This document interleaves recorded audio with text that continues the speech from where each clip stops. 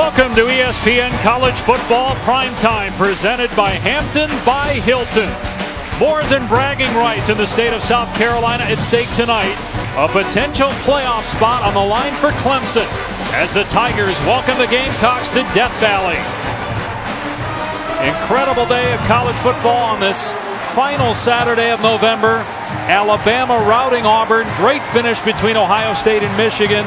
Washington a winner yesterday. Wisconsin at six. Penn State at seven. Both won today. And now time for the most exciting 25 seconds in college football as they uncage the Tigers for the run down the hill, getting ready to face their rival.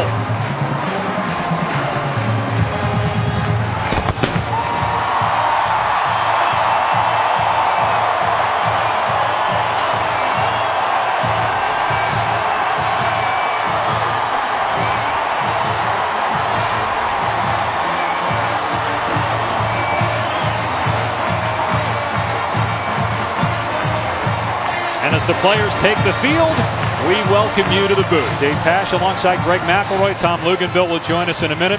Well, Deshaun Watson's a true junior, Greg, but this will be his final home game. And as you know from winning a national championship at Alabama, when you're the quarterback and you're trying to win a title, all eyes are on you.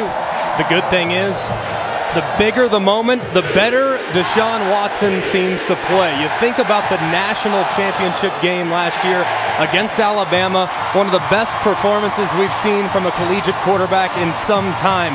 From a player's perspective, there are few things bigger than playing against your in-state rival in prime time on rivalry Saturday. Now, last time in this stadium, it did not go according to plan, Tom, but they are pleased with the way they've responded. Well, they certainly are, Greg. And the one thing they learned off of the loss to Pittsburgh is that you've got to appreciate a win and how hard it is to win. One game, forget about eight, forget about ten. Appreciate winning. And now that they have that frame of mind going forward, this coaching staff thinks this team is in a better place heading into this December than they were last year at this time. And Tom Clemson trying for its third straight win against South Carolina. The Gamecocks are bowl eligible and they are trying to ruin their rival season tonight. Tempers flare in pregame, pushing and shoving, leading into this rivalry game. Kickoff, Clemson, South Carolina from Death Valley is next.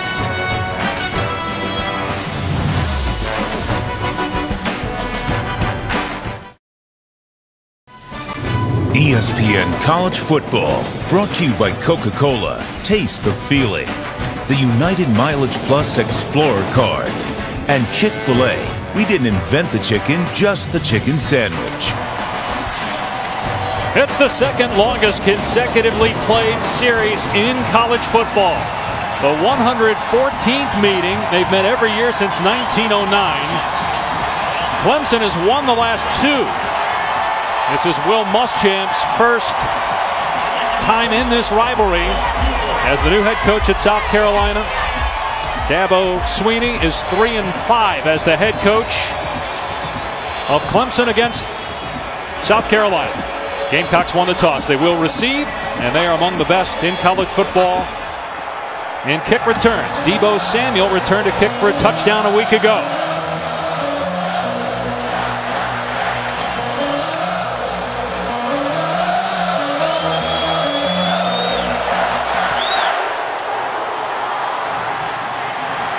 Here's Samuel from the two.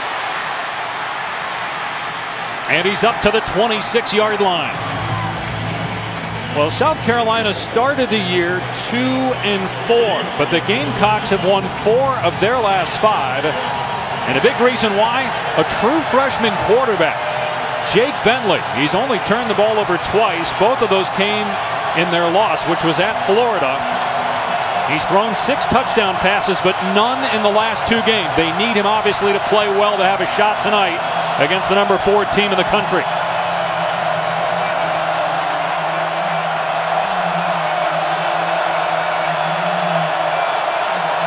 His backfield mate is also a true freshman, Rico Dowdle, who missed the first four games of the year with an injury. Rushed for over 200 yards last week. Bentley to the air on first down, and it's over the head of another true freshman, Bryan Edwards. Boy, there was a lot of contact down the sideline. No penalty flag as Bentley runs to the sideline to get the call here for second down. Jake Bentley's done such a good job of providing enthusiasm. He stepped in as the starting quarterback. Every single player on the team responded as a result. He's been a joy to watch early in his career. But it's so loud right now, he can't hear. His offensive lineman can't hear. You and I can't even hear. Bentley with time on second down, and the pass batted down, and he had his tight end Hayden Hurst open downfield. Christian Wilkins knocked it down. Well, last year South Carolina went three and nine. Steve Spurrier left South Carolina. Shawn Elliott was the interim coach. Will Muschamp was the D coordinator at Auburn. He's done better this year, Greg, than a lot of people thought he would. You could make a strong case that Will Muschamp is the coach of the year in the SEC. Given what he inherited, he's done a great job with a lot of young players playing college football for the first time.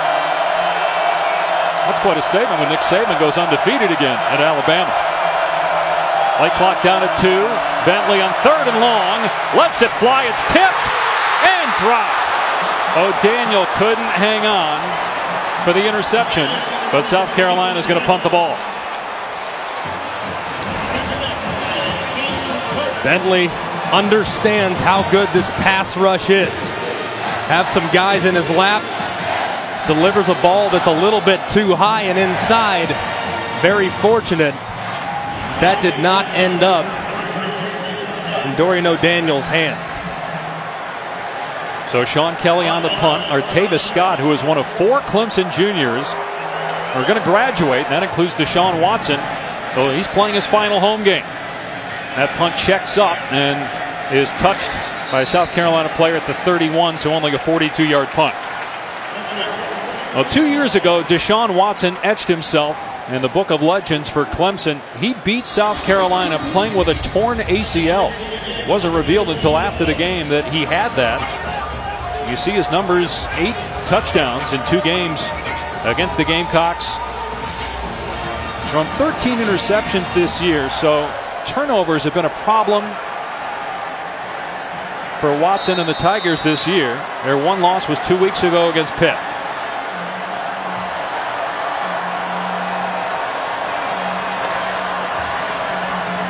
And it's going to be the tailback Wayne Gallman on first down. And a big run to start the game. They finally wrap him up at the 47. Interesting to see how much they give it to Wayne Gallman. His carries are down, Greg, from a year ago, but his production in terms of yards per game, yards per carry, is right there with last year. He's fresh. Only 160 carries on the season to this point. He's prime for the December and January run. Watson's pass just off line. Tried to hit Leggett we look at tonight's impact players. Brought to you by Chick fil A. Wayne Gallman. They need to establish the line of scrimmage. They're going to need to run the ball more effectively as they move forward. Jordan Leggett, all he does is score touchdowns and score touchdowns in crunch time. On the defensive side, went with two defensive linemen for South Carolina, Stallworth and English. They're going to need to play well up front to limit the ground attack. Gallman trying to get outside. Good pursuit by the Gamecocks. A little shove by Holloman after Gallman was out of bounds. A gain of about five in the South Carolina territory, and a big third down here for the Gamecocks defense. As you look what Gallman did against Wake Forest in that bounce back win for Clemson last week, the Tigers scored touchdowns on their first four possessions. Watson to throw on third and six. And a sliding catch made for a first down by Hunter Renfrow.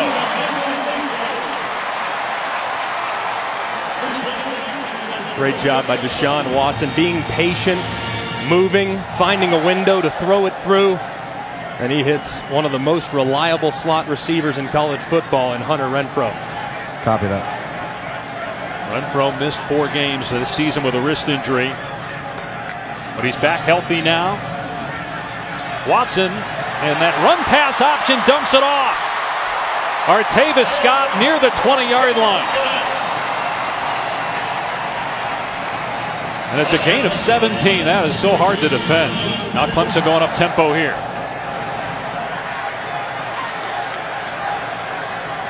Watson hits Scott again and pushed out of bounds near the 16 yard line by Rashad Fenton. That tempo makes it so difficult on the defense. Trying to get lined up, looking at the formation that the offense is giving you, and getting where you need to be depending on what the defensive assignment is. Deshaun Watson is taking a nice, easy completion. Here's Gallman, and he is taken down in the backfield. Wrapped up by Jonathan Walton, the South Carolina middle linebacker. Gamecocks have been without their best defender this year. Skai Moore is taking a medical red shirt. But this defense has played pretty well. They are number one in the SEC in turnovers forced. They've been very good down here in the red zone. That's what 2016 football is all about. Third down defense and how you play in the red area. So it's third and long now for Watson and the Tigers. Watson over the middle. It's too hot to handle for Mike Williams.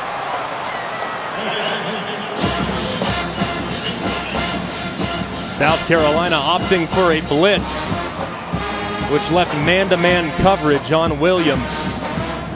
Watson anticipated the throw, but his receiver wasn't ready to get his head around in time for that 100 mile an hour fastball. That was a laser. Adrenaline flowing for Watson. Greg Huegel, 13 of 16 on the season, 39 yard attempt. And it's blocked. That's a big stand for South Carolina. And as we saw earlier today, there are no gimmies on special teams in rivalry games. Case in point, Ohio State missing a couple of short field goals. Big stand from this young defense. Tough start for the South Carolina offense, but Clemson unable to cash in. Will Muschamp likes what he sees.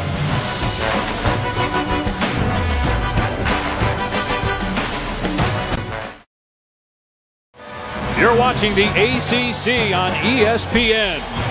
As we welcome you back to ESPN College Football presented by Hampton by Hilton as part of ESPN's rivalry series presented by Jiffy Lube. Clemson was moving the ball. They got a tackle for a loss on a run play on second down, then third and 10, through an incompletion. On fourth down, the field goal attempt was blocked. Ulric Jones with his second blocked field goal for South Carolina. The Gamecocks take over on their 22. Jake Bentley off a play fake, lobbing it for his tight end, and it's picked off at the 47-yard line by Jadar Johnson. That is the fifth interception for Johnson this year. Just a poor decision from the freshman quarterback. He did have Hayden Hurst running down the numbers, but he has to account for the safety that's deep and over the top. He overshoots Hurst just ever so slightly, and it ends up in the hands of Johnson, who did a great job of reading the quarterback's eyes and getting to the spot. You just never know, even though Bentley has handled things so well this year, how a true freshman is going to perform in just his second road game and a rivalry game that means so much to both teams. Clemson starts in South Carolina territory. Here is Gallman with a big running lane. Near the 39 yard line, they're going to mark him about a yard and a half short of the line to gain. This running game is going to be so important for the Clemson Tigers as they move forward. Playing for an ACC championship game next week, obviously, and to beat their bitter rivals, they need to be balanced offensively. Here's Watson on the keeper. And Watson has not run the ball a ton this year. He rushed for a thousand yards last year. He's just over 400 this season. His rushing attempts, though, after week 10 is when he really got going as a rusher. He has five career 100 yard games. All five came after week 10 in the 2015 season. So expect him to use his legs more as the games grow more important. Play fake here. Watson taking a shot, going for Williams. Williams comes down Thompson.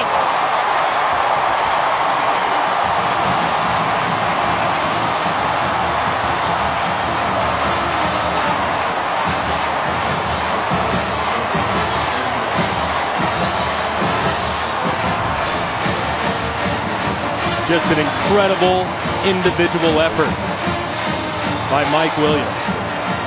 He's a big boy. Six foot three, 225 pounds with a whole lot of vertical. Not many corners can defend that. And Jamarcus King, the corner who was defending, is 6'2. Williams, who is a true junior, but he's playing his final game as well, going to the NFL. That's his eighth touchdown catch of the season. It was a spectacular grab to get the Tigers on the board first here in Death Valley.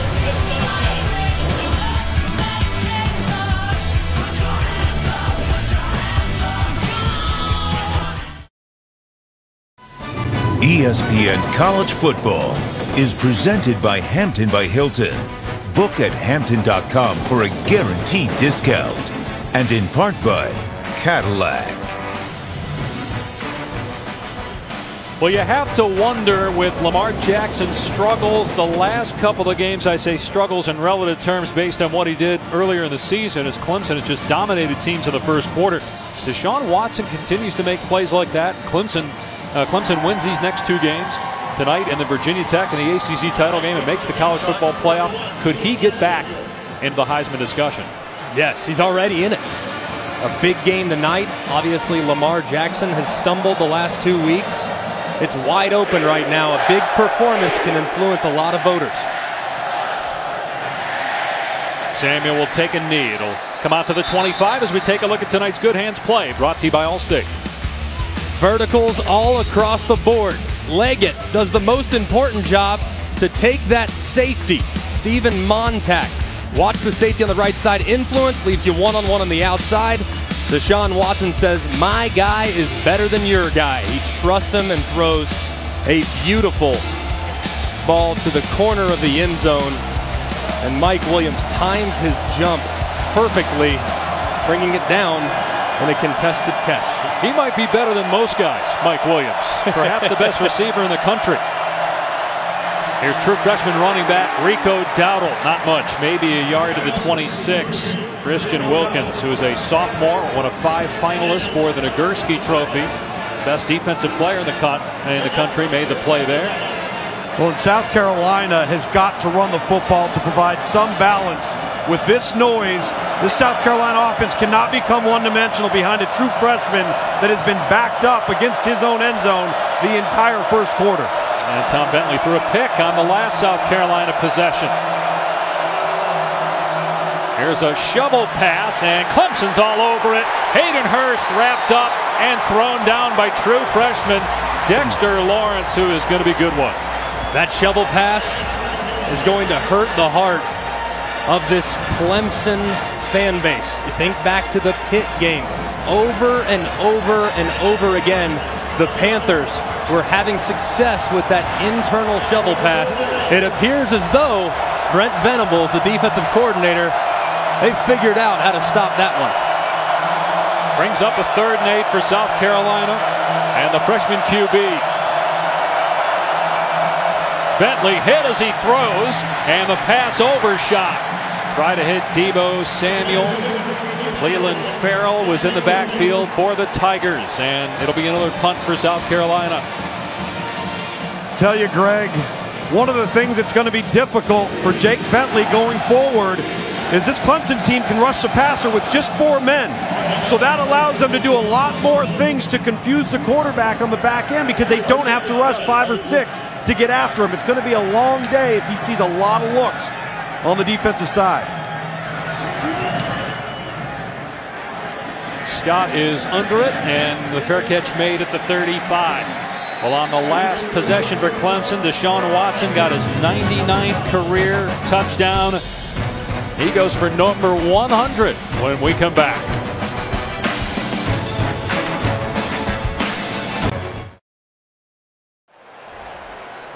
Thank you, Adnan. It is a beautiful night here in Clemson, South Carolina. A packed house for this rivalry game between the Tigers and Gamecocks. And Deshaun Watson already a touchdown pass. And now here's a pitch to Scott on the end around, and he's free. Past the 40 yard line. And finally run out of play at the 30. There is a penalty marker down.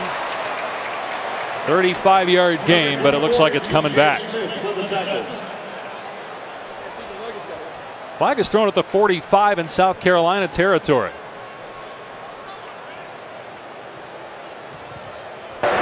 During the run, holding number seven offense. 10 yard penalty from the spot of the foul. First and 10. Yeah, first and 10. That's going to put the ball. They threw the flag at the 45 of South Carolina. So, being that it's a spot foul, Clemson still gets 10 yards out of it. First down from the Tiger 45. Mike Williams, a long time to have to engage a defender. It's a good call. He did not let go early enough. Good job by these officials seeing that right hand grab the left shoulder of the corner. Here's Gallman. Beautiful cutback. And Gallman to the 47 of South Carolina, picking up eight yards. Well, Deshaun Watson is going to graduate next month along with three other juniors. He is not officially declared yet, but Dabo Swinney's basically declared him. He said, You're going to take part in senior day, and we know you're not coming back. Sweeney's likely going to be a first round pick. He's had a brilliant three years at Clemson despite the injury two weeks ago. He keeps it here, gets the first down. He paid for it with a big hit by DJ Smith. Craig, there's been only two players that been responsible for 100 or more touchdowns. Tajh Boyd, a great college player. Philip Rivers still going in the NFL. Watson's going to join those two. Not to mention he's done it in three years. He has been absolutely remarkable. Even as a freshman, Cole Stoudt started a few games. He was banged up from time to time. So to think about the numbers he's acquired in his time here in Clemson is truly remarkable. Gallman has the first down to the 35 yard line. So that was a first down play, excuse me, picking up about seven.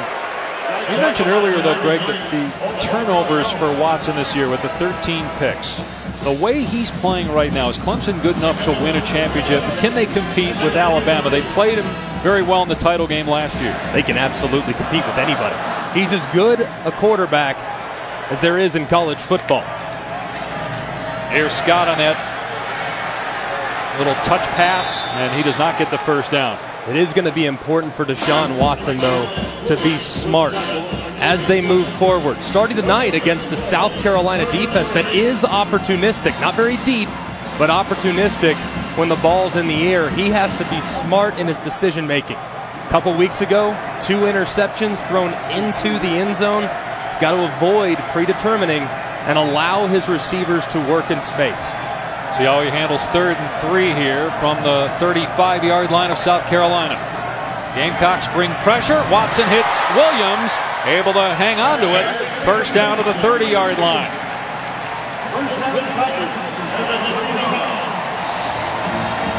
Such a big body.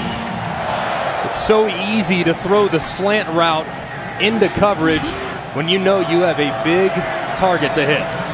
Watson dumping it off to Scott. And looks like he just gets accidentally bumped out of play by Jamarcus King, who got blocked and had his back to Artavis Scott, but actually made the play to gain a four. That's a tremendous effort from Jamarcus King. He just kept going, spun, got a little bit lucky. But hey, luck is part of it from time to time. Third time Clemson's been in this situation. They have a touchdown, they have a missed field goal. As Watson keeps, steps out of play, short of the line to gain at the 20 yard line. Tell you, Greg, that's three designated runs now that they have put the ball in the hands of their quarterback, Deshaun Watson. As you referenced earlier, this is the time to be showing what's going to happen with this offense when the quarterback is an integral part of the run game. It changes how you defend this offense. Here's third and one. It's Gallman trying to pick a hole. He gets stood up. Going to be close. Kelsey Griffin was there first. DJ Wonnum as well for South Carolina, and it's fourth down. He's going to be just short. Deshaun Watson not even thinking about coming off the field. Arch rival, six inches to go.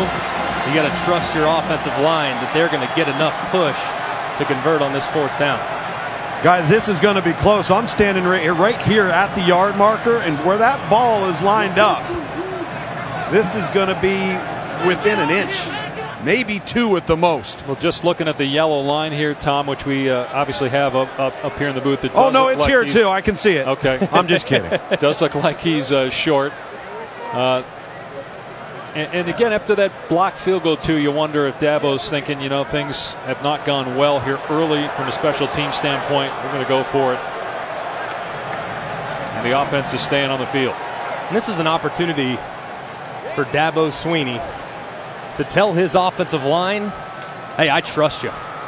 I know you're going to get me enough to convert on this fourth down. This is a trust factor, and it's also a challenge to the big boys up front. You run your field goal unit out, you're basically telling them, I don't think you can get it for me. I like the decision here from Dabo Swinney in this Clemson offense. Fourth down and inches on the 20 yard line, and Gallman powers, and it looks like forward progress will give him the first down at the 19. Gallman got stood up by TJ Holloman and Kelsey Griffin, but he did get enough to move the sticks. It's a really good play by TJ Holloman, though. There was a hole, but it closed quickly. Gallman just too much momentum to carry his body over the sticks. Watson off play action. Hits Williams inside the five. Williams carries defenders into the end zone. Touchdown.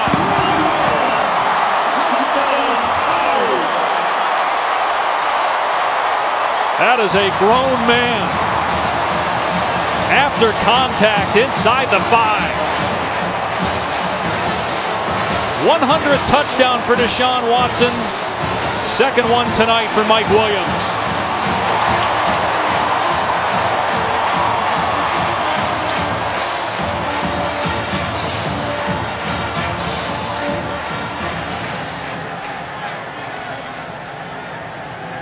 Huegel on for the point after, and it is 14 to nothing Clemson. Deshaun Watson is hot, but Mike Williams might be hotter. He refuses to be denied, and the Tigers up big early.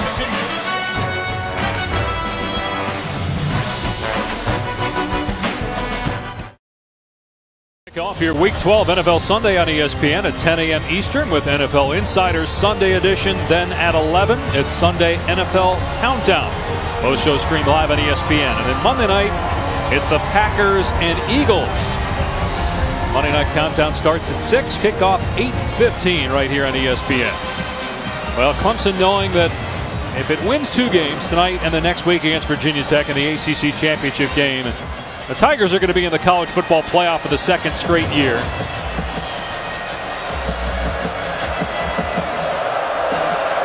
They have been dominant in the first nine minutes of this game. Samuel from the one Yep, yard right on the back end. He is met at the 22 and crunched.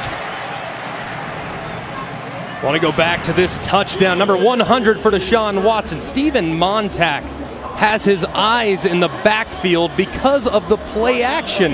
The run game is going to open up massive holes in the secondary. You saw the influence right there that it had on the safety Montac. It allowed nothing but green grass for Mike Williams to work to. That's what makes this offense so incredibly difficult to defend. Not only can they beat you through the air, when the run game gets going, that play action passing is going to get even better. Meanwhile, South Carolina just needs a first down. And they try to run the ball here. It's just the second run play they've called, Enrico Rico Dowdle is grabbed by Lawrence and Ferrell and gets a yard. Right side of this offensive line is having a tough time in the early going. Not Helms and Young. They have their work cut out for them. This is a great defensive front for the Clemson Tigers. Might start seeing a few runs to the left behind their All American candidate, Zach Bailey, number 78. Averaging less than a yard per play here And the opening quarter. Second down and long. Bentley, wide receiver screen. And good tackle on Samuel by Marcus Edmond after a gain of about three. This is a critical third down. For this South Carolina offense. Their defense has been on the field entirely too long here in the first quarter. They need to give their defense a rest and try to change field position because they've been backed up this entire game. And also for Bentley, Jake Bentley, from a confidence standpoint, you just need to see the chains move. Hasn't happened yet. Will Muschamp comes on the field and calls a timeout. The play clock was at four.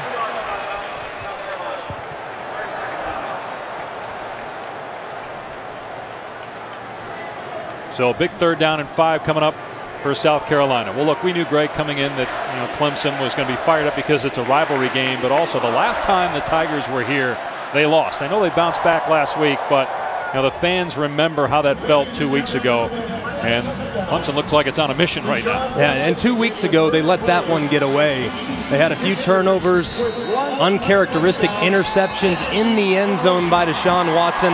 One late in the game that really would have iced it. They had so many opportunities to end the game against Pitt, and they just were unable to do so. They came back last week, responded extremely well against a gritty Wake Forest team, scored touchdowns on their first four possessions, so they're carrying that momentum into tonight's performance.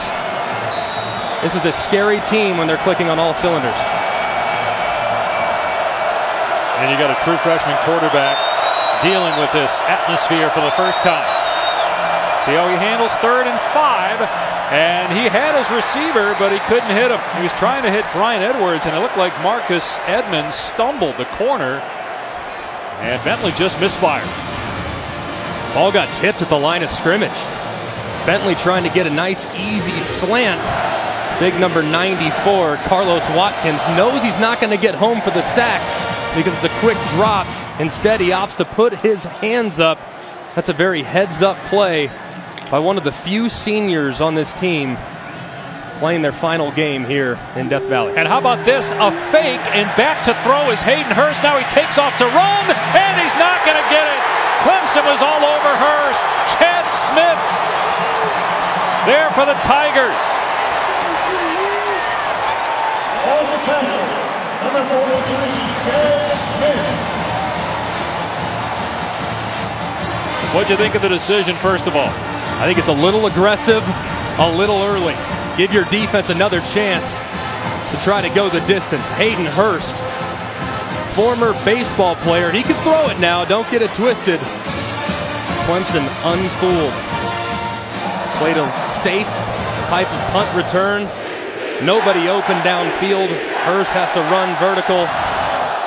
And they stop him to continue a massive momentum in favor of the Clemson Tigers. Here's C.J. Fuller getting the call. He's inside the 30 to the 28.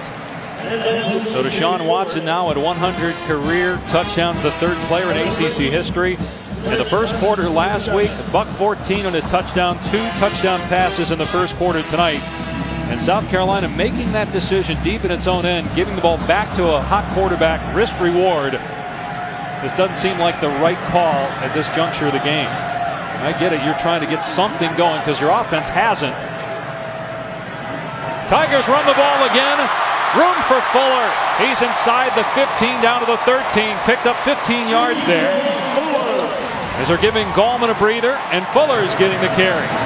This offense makes you cover the entire field. They have a little jet sweep, which changes the eye line of the linebackers. They overflow north and south gap wide open and a nice run there for Clemson. Watson to the 11 yard line. Chris Moody makes the play for South Carolina. And Greg, you're exactly right with that eye line with the linebackers. That flow that's meant to influence the defense. All you got to do is be a half step wrong, and those eye violations will open up wide gaps. And that's how the big runs have come on the ground so far for Clemson. You say a half step against this offense, this much speed, it might be a quarter step. You're right. Gallman hit in the backfield, keeps the feet going, but is slammed to the ground. Looked like he made it back to the line of scrimmage. See, Greg, that right there, every time we've seen Clemson tonight just line up and run the ball, South Carolina's been pretty stout. They've known exactly what's coming. They haven't had to play, pay attention to a lot of movement. It's the movement and the shifts in the motion that are creating havoc for South Carolina. A little surprise that hasn't been a healthy dose on every snap from Clemson. Big third down here for South Carolina's defense. You'd have to think a must stop situation here. Already down two scores early. Watson getting the call from the sideline. The play clock's at five. They're going to have to take a timeout. Or are they? Yep. Swinney calls it right before they snap it to Deshaun. So two timeouts remaining for Clemson. Third and eight on the 11. Let's get you to the studio for an update. Here's Adnan.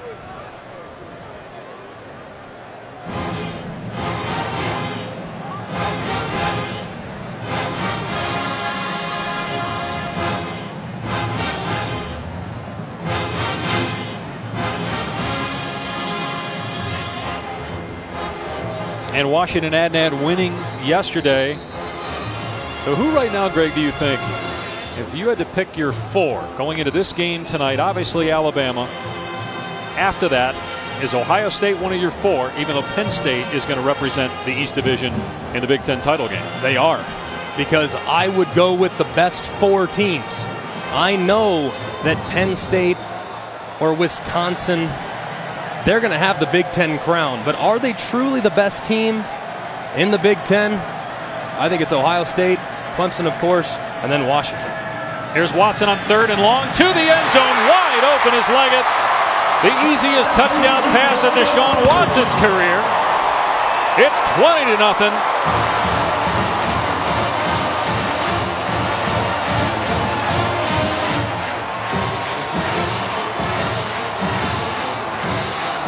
Watson might be right. That might put the Gamecocks to sleep. A three touchdown advantage with two minutes to go here in the first. I think Deshaun Watson likes playing against South Carolina. He understands the magnitude of this game, and he has come out ready to play.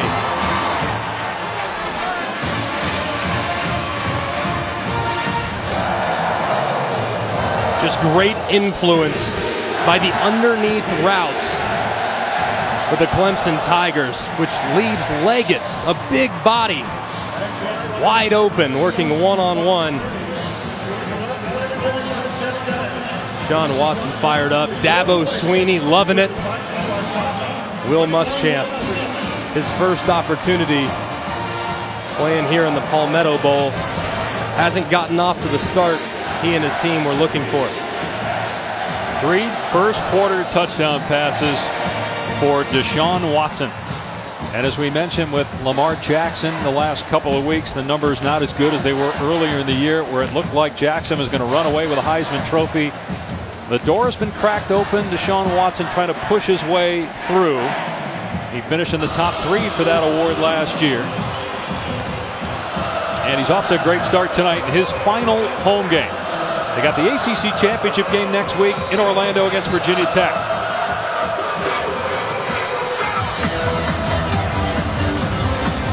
Sean Watson came into the season as the Heisman favorite without question. He's certainly playing like it the last couple weeks.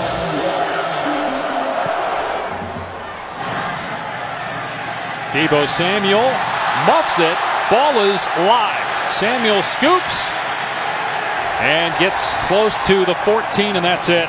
Tigers were all over that after the muffed kickoff. Taco Bell, a proud partner, the college football playoff. Be on the lookout for Taco Bell student sections and passionate fans like these at games all season long. Well, this is one of the great scenes in college football, especially at night in a rivalry game the 114th meeting. He called it the Palmetto Bowl. That's what they started calling that a couple years ago. Well, last year Clemson was unbeaten in this matchup yeah, against the Gamecocks and won that game by only five as South Carolina runs Rico Dowdle that's one of their best offensive plays so far. That's not saying much. They get four yards. You mentioned last year, Dabo Swinney. we actually asked him about it jokingly. He said, well, you know, it was a little bit more like 12. Scored with one second remaining to make the wound look a little bit less dirty. But no doubt about it, that South Carolina team last year came ready to play under the direction of Shawn Elliott. so far tonight had some momentum coming in. Their best offensive performance last week. Granted, it was against Western Carolina, but it hasn't been able to carry over. Play fake for Bentley, and that pass got tipped again. T- tell you, Greg, Dave, I'm standing right behind the offense here by the goalpost, and there's a lot happening in front of young Jake Bentley's eyes. Just as I referenced before, being able to just rush with four, a lot of moving parts and components in the back end, giving him some things to make him double think what he may or may not do with the ball. This is some tough looks for a young quarterback. The game is moving extremely fast for him. So if I'm offensive coordinator Kurt Roper, got to get some nice screens to take some of the pressure off and some high percentage completions for the young quarterback. Third down and six, penalty marker down. There was movement by South Carolina pre-snap. Before the snap, false start, number 77, offense. Five yard penalty, still third down. That's on Malik Young, the right tackle. That won't make things easier on the true freshman quarterback, Jake Bentley. Just his sixth career start. Going up against this great defense, down three scores, and now he's facing third and 11 here, deep in his own territory. That's been part of the problem. They are just way behind when it comes to field position in the early going. Can't seem to find any open receivers and having a tough time running the football against a very stout Clemson front. Clemson coming after him, and down he goes. Smoke back at the five yard line by Ben Boulware. Think the Tigers are fired up? Think they know what's at stake? Win two and you're in. He's got to understand, Jake Bentley, that there are times where a defense is bringing more than you can block. That time, two defenders and the running back couldn't decide between the two. They both end up getting a shot on Bentley. He'll learn as he gets older to be better in protection. Artavis Scott going backwards here. Wrapped up at the 41 yard line. There's a penalty marker down, 58 yard punt. TJ Brunson with a nice tackle on special teams.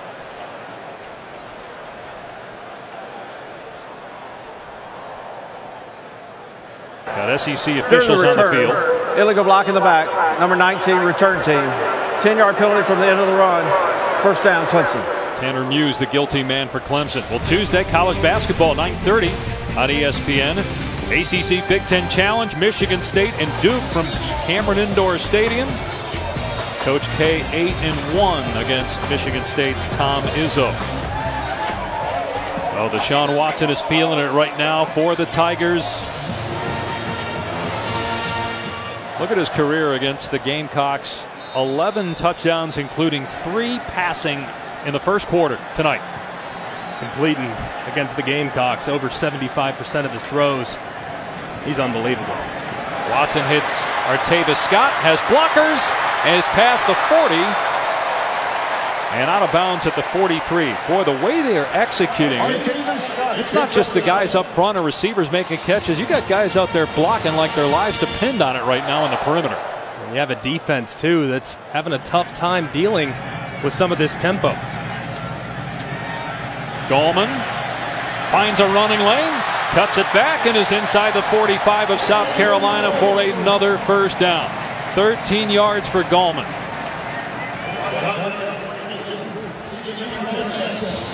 What a start for this Clemson football team. So much disappointment two weeks ago, the last time they were here in Death Valley. Nothing to be disappointed in 15 minutes into this one. 21 points for Clemson, seven yards for South Carolina. The Tigers are rolling after one here in Death Valley.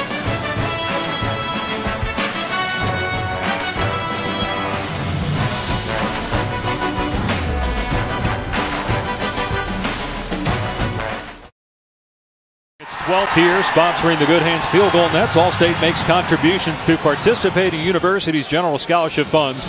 For each field goal and extra point kick. To date, Allstate has contributed millions in scholarship funds.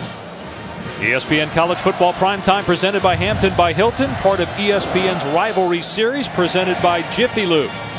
This one one sided 226 yards for Clemson, 21 points, 7 yards, no points for South Carolina.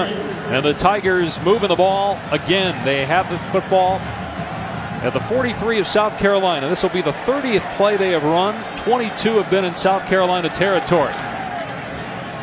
And they run Gallman straight ahead. Fights his way to the 39 for four yards. Let's bring in Tom Luginbill from the field. Yeah, you know, guys, when you when you consider this team right now and and just how focused they are, Brent Venables, I thought did a great job of making sure that this team was focused on the defensive side and coming into this game here as we get a big uh, win versus Wake Forest. As Watson takes oh. a shot and it's broken up, trying to hit Mike Williams again. Jamarcus King with the breakup. Go ahead, Tom. Finish your story. Sure. You come off um, that big win on the road. You've got refocused. You beat Wake Forest. And I asked Brent Venables point blank, I said, where's the emotional state of this team? And he said, we are better than we were a year ago at this time. We're more focused. We're more prepared.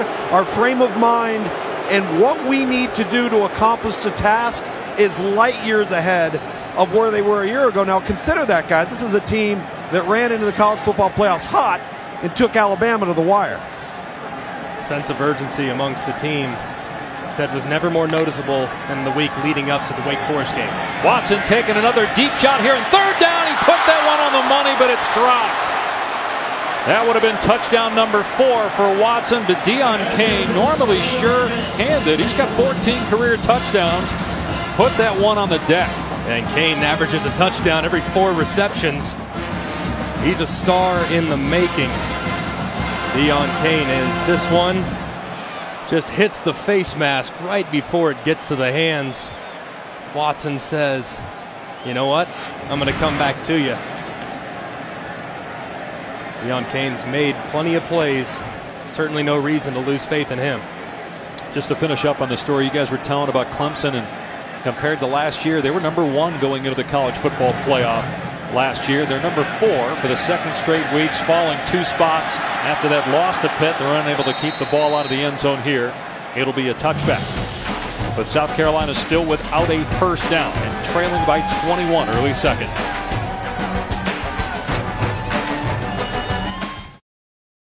It is almost here.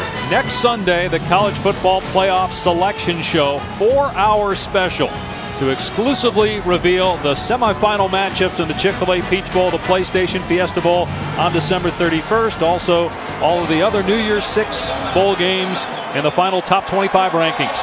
Where will Clemson be ranked? The Tigers leading 21 to nothing tonight. They have the ACC title game next week against Virginia Tech. Meanwhile, South Carolina, first and 10 from its 20 yard line. And they're going to run it. Dowdle off the right side. Or check that A.J. Turner picks up five yards. South Carolina with six wins, three and five in the SEC. They won by three at Vanderbilt. Knocked off Tennessee, and their only loss in their last five games was at Florida. A lot of people felt like the ceiling for this team, given the youth they were going to have to rely on and the cupboard that Will Muschamp inherited a lot of people thought this was a four-win team. Going bowling with such a young team is a tremendous accomplishment. Those 15 bowl practices will be huge for the development of these young players. Yeah, Greg, they've started seven true freshmen, the most of any team in the country. They try to sweep it to the right. Clemson all over it. It's Boulware making the hit on Turner for a loss on the play. 78 freshmen and sophomores on this roster, 19 first-time starters. 13 true freshmen have played, and again, seven have started. Yet this is a team in the last five games that has not made a lot of mistakes. They have forced the opposition into making mistakes. Defensively, forced 14 turnovers in the last five games. Offensively tonight, haven't gotten off to a great start, but they know the formula. It's been a tremendous job by Will Muschamp this season. Tough start tonight, though, against a very good Clemson team. Bentley in trouble, gets away from a defender, now lets it fly, and it is caught for the initial first down of the game for South Carolina. It's Casey Crosby pulling it in. It's a great catch by Crosby. Not a very accurate throw, but given the circumstances, the will way, take anything right now. the way Bentley was trying to escape, it's a great effort on third and long against one of the best third down defenses in college football. He'll take anything right now. That that play netted more yards than the entire first quarter for South Carolina. Run play here on first and 10, and not much for A.J. Turner. Maybe two. Kendall Joseph in there on the stop. It's been fun to watch Turner as well. I know Dowdle has really taken over that premier role, but you think of some of the games and performances that Turner has put in. Those guys, obviously, both freshmen. Turner, a redshirt freshman, Dowdle, a true freshman. They're going to make up a very nice one-two punch in the future for the South Carolina Gamecocks. Yeah, Turner's got some home run ability. Had a 75-yard touchdown against Texas A&M. They give it to Turner again on second down. He gets level. Jalen Williams and Lawrence in there on the stop. So third and long. And again, you pointed out Turner's a redshirt freshman. Dowdle's a true freshman. Jake Bentley's a true freshman, and actually he should be in high school. Now he's 19 years old. He just turned 19 the other day, but he skipped his final year of high school to go to college. Yeah, there's another true freshman on this team, Brandon McIlwain. Jake Bentley's actually six months older than him. He doesn't turn 19 until May. So he's a very poised freshman, wise beyond his years, in large part due to his upbringing. His dad, of course, is the running back coach, Bobby Bentley, for the Gamecocks. Third and six here for Jake Bentley. Has time, and now the pass high and incomplete. Pressure from Christian Wilkins again on Bentley, and South Carolina will have to punt. Samuel was the intended receiver. Just goes to show you how difficult it is to play against these four guys up front. Watch how many blockers South Carolina has. That's seven. There's only three guys truly rushing, mostly on the edge for the Clemson Tigers, and yet they still get a hit on Jake Bentley. And that's a 310 pound defensive end. It's not like it's a 260 pound guy coming off the edge. It's a big dude with a lot of speed.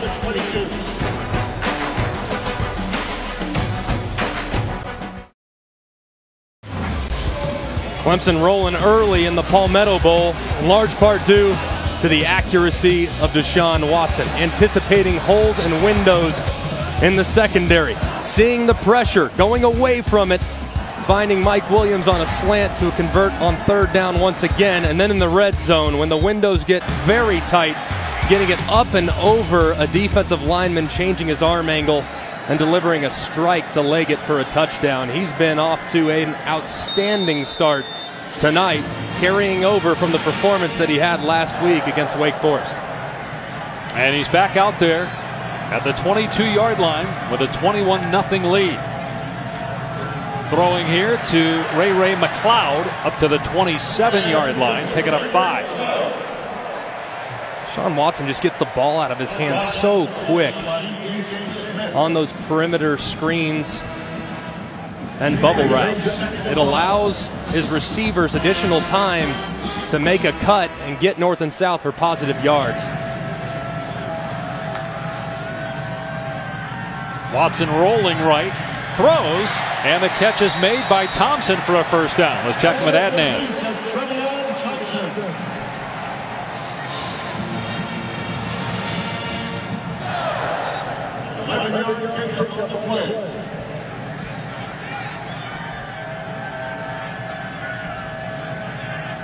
All right, pal, here it's all Clemson 21 zip, and Deshaun Watson has been fantastic. A touch pass here. The receiver slipped, Mike Williams, but he got taken down. Jamarcus King will get called for interference here. That'll put the ball into South Carolina territory. Jamarcus King's had a tough day. Already given up three touchdown passes. Pass interference, pass number seven, defense. The penalty is a first down at the spot of the foul. First down. Very clear here that his back is to the ball. He just tackles. Mike Williams. The easiest decision the official has ever had to make, throwing that one for a pass interference penalty. Marcus King is a junior.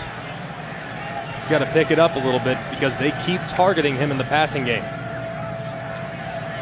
Back to the ground, Gallman spinning out of one tackle, but then he goes down as Bryson Allen Williams finally gets him to the ground.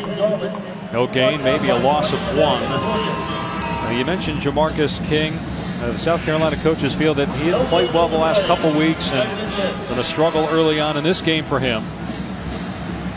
Clemson trying to get to the college football playoff for the second straight season. You saw our promo for next week's ACC championship game. Clemson and Virginia Tech. Here's Watson on second down, finds Leggett. And Jordan Leggett, the outstanding tight end, is to the 31, picking up 16 yards. Such a good throw from Deshaun Watson. A little bit high, but look at the way Leggett crosses face of Bryson Allen Williams. It's just a great route by one of the best tight ends in college football. Watson pumps the short throw, tried to hit the tight end again, and it was picked off by Allen Williams. Leggett could not handle the pass, and it's Watson's 14th interception of the season. Huge play for South Carolina, trying to find some momentum somewhere. You'll take it however you can get it. Off the deflection, a tremendous effort by Allen Williams to lay out to try to steal some of the momentum from the Tigers.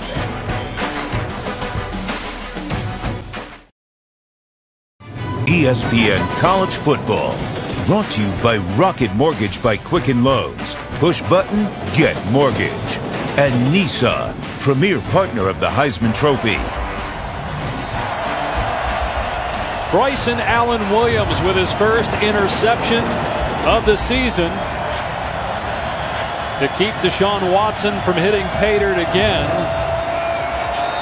First turnover tonight by Watson and the Clemson Tigers. South Carolina, though, starts on its 11 yard line. Bentley rolling left. Pass deflected again. Incomplete. It was Clelin Ferrell. They have tipped a handful of passes at the line of scrimmage so far. That's the fourth tipped ball for Bentley. Just trying to change the pocket, getting him outside, allowing him to feel a little bit more comfortable. But that's an almost impossible feat to feel comfortable as a quarterback against a front four that's as aggressive and talented as these Clemson Tiger defensive linemen. I mean, it looks like children against grown men. South Carolina trying to block this front four for Clemson. Bentley has no time to throw. Quick passing game, and the Tigers all over Samuel. He's able, though, to at least get back to the line of scrimmage. Tripped up by Kendall Joseph. The third long for South Carolina. Consecutive passes now. One trying to change the launch point results in a quarterback hit and an incompletion. Next play, you try to do a screen. Manageable plays offensively that have just been difficult to execute. I think this is an imperative first down, considering they just got the ball back, the defense did, for this Gamecock offense. They are one of six on third down. It's third and 10. And here they come after Bentley. They're setting up the screen. Here's Turner, and he's going to get the first down. Out past the 25 yard line for the second first down tonight for South Carolina. Outstanding play call from Kurt Roper. They've been bringing some pressure on third down. What's the best thing to do against the blitz? Throw the screen and follow your very talented all SEC candidate, all American candidate, Zach Bailey, the left guard, number 78. Excellent execution and a perfectly timed play call. You said that's the best guard you've seen right on film He's this the year? best I've seen on tape all year. I think he's incredible. First rounder in the future. A.J. Turner on the handoff this time to the 29. Three yard pickup. Boulware on the stop. One of the few times we've been able to see this offense get ahead of the chains on first down so that they can have some type of manageable play call within the sheet that gives them a lot of options. And, and they haven't had that, Greg. They've, they've either been throwing intermediate or deep throws or getting zero yardage on first or second down. That makes third down very difficult, especially when you're having a tough time protecting and you have a true freshman quarterback that's sitting back there trying to find open receivers. Turner hit in the backfield and pummeled. Carlos Watkins greets him in the backfield. Another tackle for a loss for that Clemson front. Tom, Tom says get back on schedule. They get it to second and seven. Sure enough, tackle for a loss on second down, making it once again third and very long. Went to the screen the last time. Maybe a draw or something similar to that in order to try to catch this defense off guard.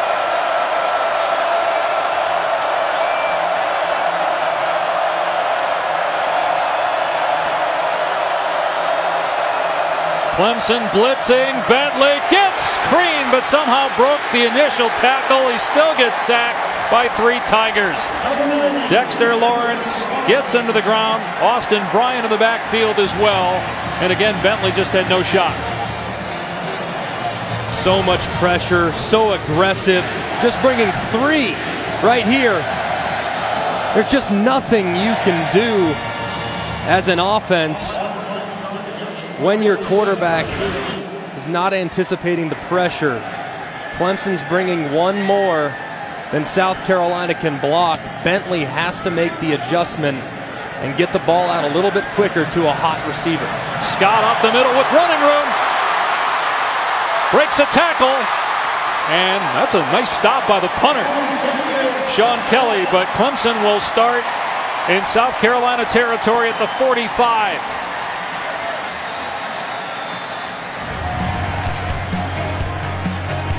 Soon as South Carolina gets a little momentum, Clemson takes it right back with a stop and a nice return.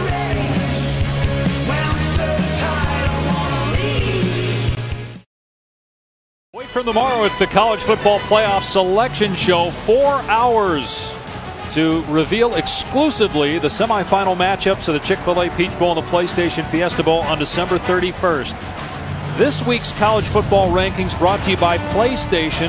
Alabama, you would think even if Alabama loses to Florida, which nobody in this planet believes they will, that they're still in the college football playoff. Ohio State's in the in the clubhouse because Penn State's going to play in the Big Ten title game. But how comfortable should the Buckeyes be with their position right now? I, I think they should feel very comfortable. You look at the game that's going to be had next week in Indianapolis, and I think Wisconsin's probably going to win that game. Who Ohio State beat head to head in Camp Randall. Ohio State at 11 and 1 with some of the great wins they have on their resume. I think should feel pretty good about where they sit.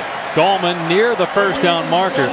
So you're saying that if Wisconsin wins the Big Ten championship, Ohio State gets in, and the Big Ten champ is left out. What happens if Penn State wins? Do both Penn State and Ohio State get in, or are the Buckeyes out and the Lions are in because they beat Ohio State? I would take Ohio State over Penn State because they have one loss as opposed to Penn State's two. Gallman close to the first down. So even though the head-to-head matchup, Penn State won, you still see. I agree with you. I think Ohio State, but Tom, I know you feel that Penn State would go instead of Ohio State. Well, here's wins. the issue: the the the verbiage of a team being unequivocally better than a conference champion that that is reflective of whether or not said team was the team you lost to. And in this case, that would be the case for Penn State and Ohio State. And that causes a problem, in my opinion, with the committee and how they would view an Ohio State inclusion if Penn State won the Big Ten. Gallman on first down gets about seven. And we've seen teams that appear to be squarely in the top four. Think back to 2014. TCU, right. in the second to last rankings release, was sitting at number three. They go and blow out Iowa State big, yet they drop the number six in the rankings on the final Sunday when they actually do the selection show. But the difference is the schedule. TCU two years ago didn't really play anybody non conference. Ohio State beat Oklahoma as Watson is dragged down short of the first down marker by Steven Montac. So third down coming up here. Let's not forget about the Pac 12 champion in this equation as you're discussing the Big Ten. Because if it happens to be a one loss Washington that comes out of that conference, uh, that's going to change the perspective of how the Big Ten is handled. Third and two for Clemson. Two wins for the Tigers, and you would think they're in the college football playoff. They got the ACC title game against Virginia Tech next week, and they get the first down easily here on the handoff to McCloud. He's tackled out of bounds, and here comes the flag. Jonathan Walton wouldn't let go. You mentioned Clemson in the college football playoff. The way they played the last two weeks, looking pretty good. After the runner was out of bounds, personal foul, unnecessary roughness, number 28 defense. Half the distance to the goal from the end of the run, first down. This is a good decision here. Out of bounds, driving him to the ground. Just no reason at all for Lamons to make that play, especially when Jonathan Walton already has the runner McCloud in tow. So first and goal for Clemson. Here's Watson pitching it. Gallman inside the five and into the end zone. Touchdown, Clemson.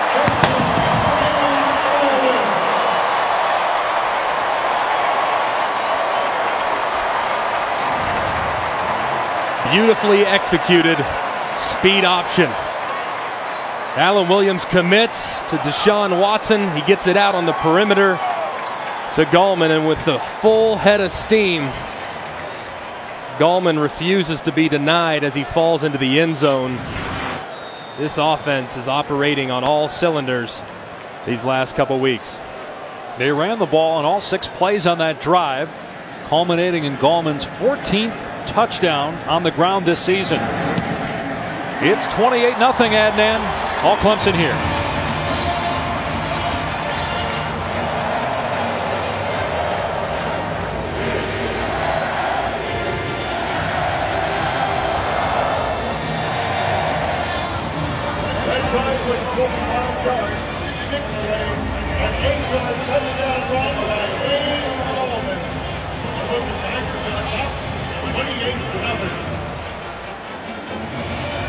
All right, Adnan. Clemson making a statement here. Granted, against a team that's got five losses, but the way Clemson played two weeks ago, losing at home to Pitt. And by the way, how about the two wins that Pitt won eight games, so they got wins at Clemson and against Penn State. Pretty remarkable when you think about it. They've been mighty close, the Pitt Panthers have, having a pretty special season. Of course, gave up a real late lead to North Carolina, ended up losing by one. After a rain delay at Oklahoma State, lost by seven, but it was tied at 38 prior to the delay. Pitt Panther team, no 8 and 4 doesn't really jump out to you. That's a good football team that came in here and beat the Tigers. And you mentioned Oklahoma State. Going to be interesting to see if they can get into the conversation, if they can beat Oklahoma next week, given that they lost twice, but one of them as the return for South Carolina is out to the 28 yard line. Samuel. Remember that loss to Central Michigan should never have happened because the play, the last play that Central Michigan won on came after the clock hit zero. Colorado's up right now in Utah. So if Colorado wins, it'll be Colorado and Washington in the Pac 12 championship game. Oklahoma, Oklahoma State next week. Penn State, Wisconsin meet next week in the Big Ten championship game. How about the job Mike MacIntyre's done at Colorado? 2 and 25 in his first three years in the Pac 12 as the head coach at Colorado. Now, obviously, a couple quarters away from punching their ticket to the Pac 12 championship game. Jim Leavitt just giving the Broyles Award right now for best assistant in college football. The job he's done with that defense. Dowdle, uh, Dowdle upended at the 30 yard line by Van Smith. Give him a couple. You can make an argument, fellas, that the best team in the Pac 12 won't even be playing in the Pac 12 game. SC? Absolutely. I, I think SC, if you were to take those members of the committee that have spent their life in the in the in the coaching profession and ask them who they don't want to play right now, that team would come out of some of those coaches' mouths. Bentley on second and long. His pass over the middle is caught by Hurst. He's short, though, of the first down as we near the two minute mark. The only thing with, with, with, SC, I get it right now, they look great, but you can't just dismiss the three losses and the whole quarterback argument. Yeah, they, they have a different quarterback now, but everybody else played in that. Oh, I, I, yeah, I'm not saying that. What I'm saying is, is the, the, the committee, and we're not talking about them being included, but you do give credence to how a team improves week in and week out. And a quarterback does make a massive difference. But my argument against your Oklahoma State is they should have never been in a game with Central Michigan to get to that point. Bentley going to take a shot on third down, and it's tipped incomplete, but flags are thrown here. Ryan Carter defending Bryan Edwards. This will be a South Carolina first down. Bentley to Edwards.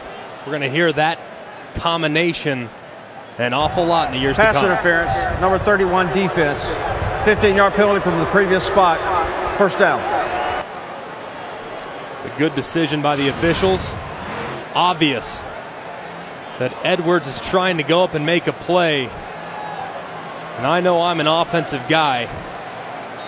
So I tend to lean heavily on the side of the offense. But I think even defensive guys would consider that a foul.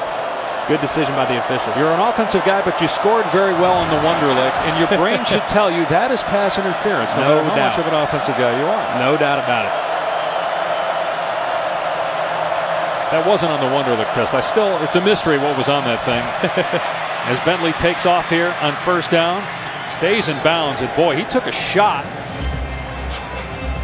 from Ben Boulware, but just hops to his feet, hobbles back to the huddle. That's one thing that's really impressive about Jake Bentley. I know he's 19, true freshman, should be in high school. We know all those aspects, but he's tough and he's physically mature. He's already six foot three, 223 pounds. He might be a freshman on paper, but he looks like a junior physically. In trouble here. Steps up, and dumps it off to Dowdle. South Carolina has two timeouts, and they're going to use one here as they're in Clemson territory for the first time tonight.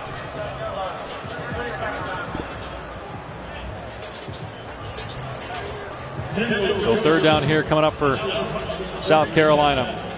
All right, let's just finish up on, the, on this Pac-12 conversation here. If, if, if Washington right now, you, so you think Washington, if you had to pick four right now, they're in? Yes, and if, they, they, win the Pac-12 with obviously one loss. All right, so if Colorado wins tonight and then upsets Washington, can you make a case for them, or is the Pac-12 left out again? I think they would be left out. Colorado, yes, they have the two losses. One is to USC, one is obviously to Michigan in a very tough game in Ann Arbor, but they just don't really have the quality wins. They, of course, in that scenario, they would have beaten Washington, but they're really only other very yeah. quality win would have been against Utah. So I, I, think that there's just not a lot to look at from their resume to warrant being included in the top four. Which would mean two Big Ten teams. Yes. So basically, if Washington loses next week, you're going to see two Big Ten teams in the college football playoff as that pass sails high and complete because Ohio State's going to get in, you would think, and then Penn State or Wisconsin, whoever wins that game, but again, Washington would have to lose next week, and I'm not sure they're going to. They're playing really well right now. They dominated Washington State in the Apple Cup yesterday. It's tough to find a weakness with Washington. They run the ball efficiently. They force turnovers. They're good along the defensive front, which is one of the most important parts of building a championship team. And they're very good at quarterback with a Heisman candidate themselves in Jake Browning.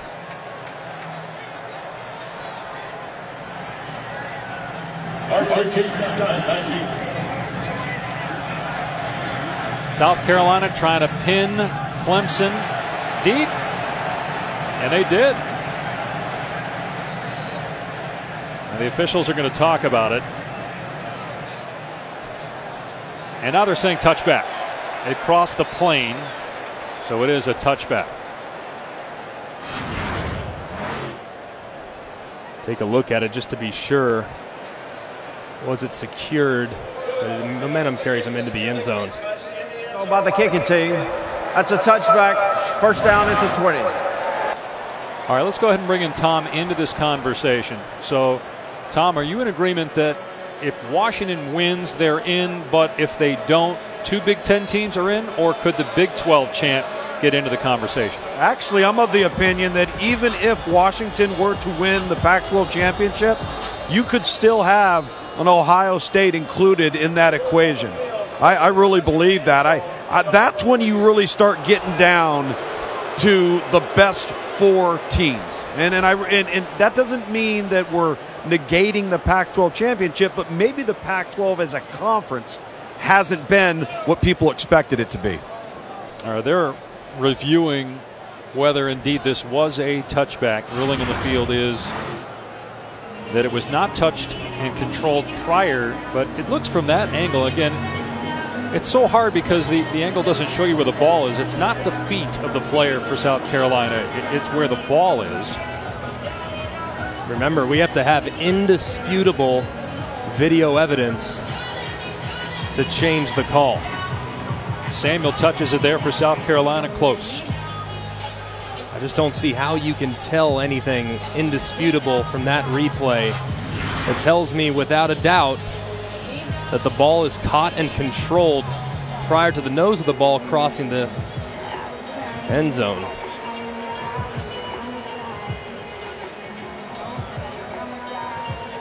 This is going to be a, a touchback.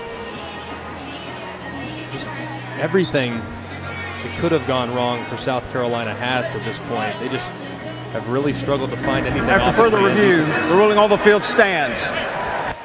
So that language there tells you exactly what you just said. There's just not enough video evidence to change it. So Clemson will have the ball in the 20. 48, uh, 47 seconds left. Two timeouts and a 28 0 lead. Deshaun Watson with three touchdown passes in the first half and 31 now in the season.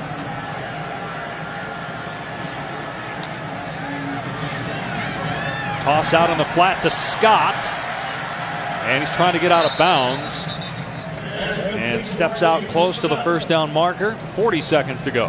Most offenses would say 47 seconds left, up 28 points. Let's take it to the locker room and come back out and play the next 30 minutes. Not Clemson. They want to run their two minute offense and try to steal some points before the half. And against a rival, you know they're not going to let up. Watson down the sideline, and it's caught by Leggett. And Leggett wrapped up at the 41 of South Carolina, and Clemson in business with 30 seconds left. Leggett just climbs the ladder. He's actually going against DJ Wonnum, who's listed as a defensive end, but does occasionally move to the exterior and play in coverage from time to time. That's a mismatch, and a good job of Deshaun Watson identifying it. Leggett, one of three finalists for the Mackey Award, best tight end. Watson on the money to Williams. They're picking apart this South Carolina defense.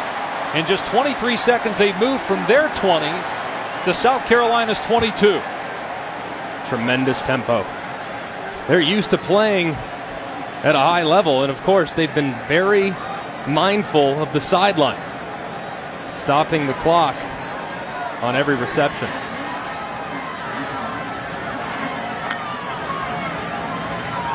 Watson to the sideline. Williams again. And the clock stopped with 21 seconds left.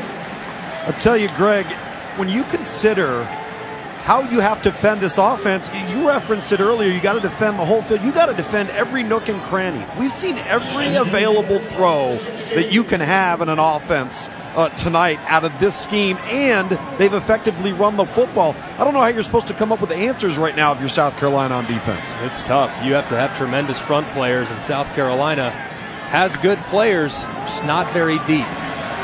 Watson wide open in the end zone. He had Leggett, but overthrew him. He jumped as he threw the ball that time. I don't know if he just got excited seeing Leggett running wide open or what, but he got some pressure as well coming in his face. Not the most traditional version of the jump pass that we saw from Tim Tebow and others over the course of the last decade in college football. He had a guy breathing fire in his face, so probably trying to protect himself a little bit. On third and four, Watson fires complete. Williams is free in the middle of the field. Williams to the end zone. His third touchdown of the first half.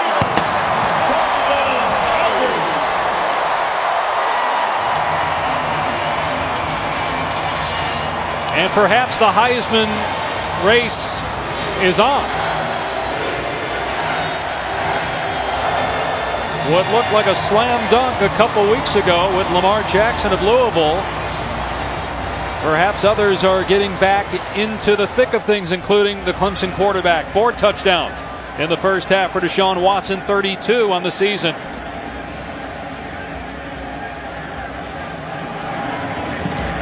And it is a first half thrashing, 35 0 Clemson. Mike Williams went over a thousand yards receiving on the season last week against Wake Forest. He's going to add to that total. Obviously, up into the hundreds right now, and a handful of touchdowns. It's just a great job after the catch. This is twice now that he has broken numerous tackles on his way to pay dirt. Deshaun Watson had some pressure on that one, got it out very quickly, extremely accurate, allowing his receiver to carry momentum all the way through on the screen. And they are fired up, man. This team, they are really confident.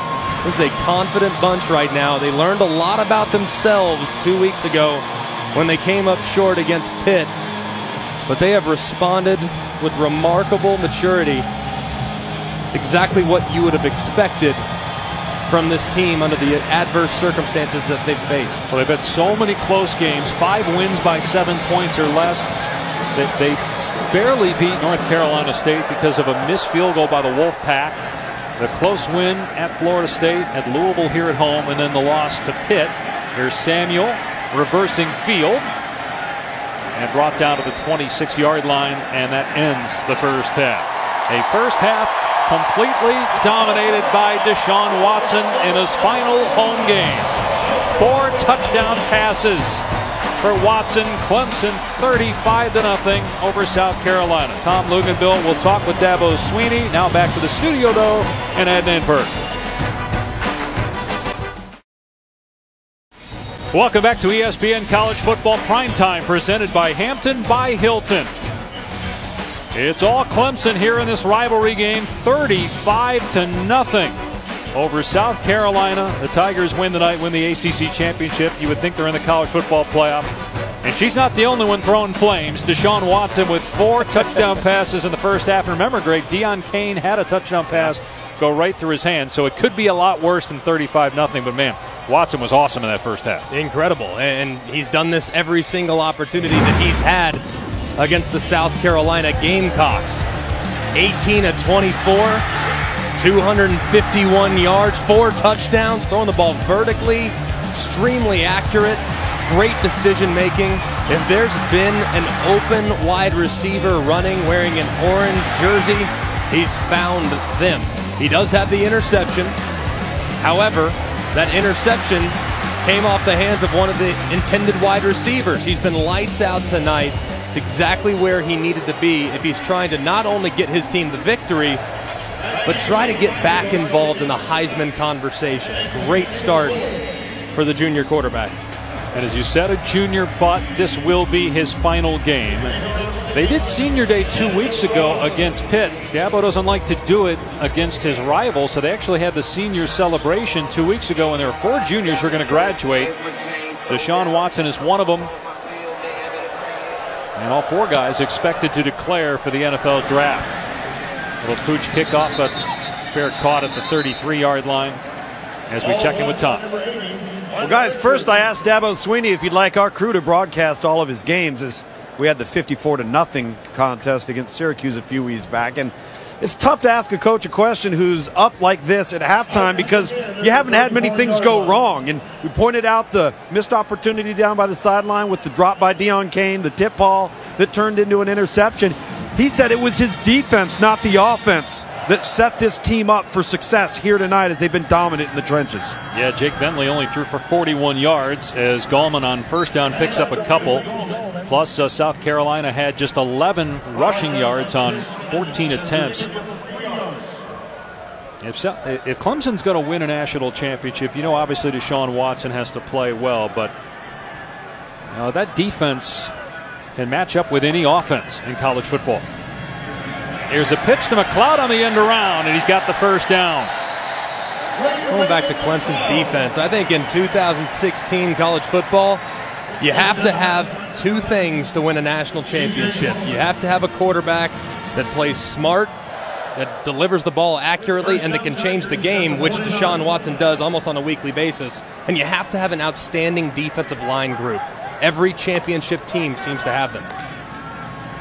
Wayne Gallman getting the carry. There's Watson out there just sticking his rear end out to get a block. And Gallman around the right edge is inside the 30 yard line.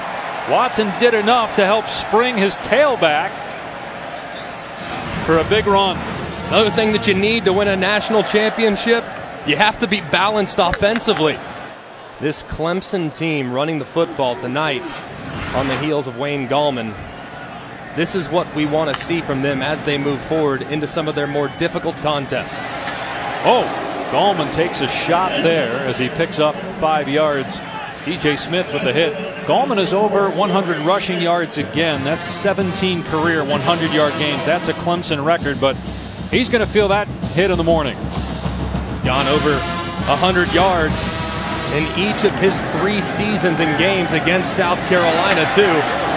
He's going to be feeling that one, like you said. Nice lick by the safety, DJ Smith.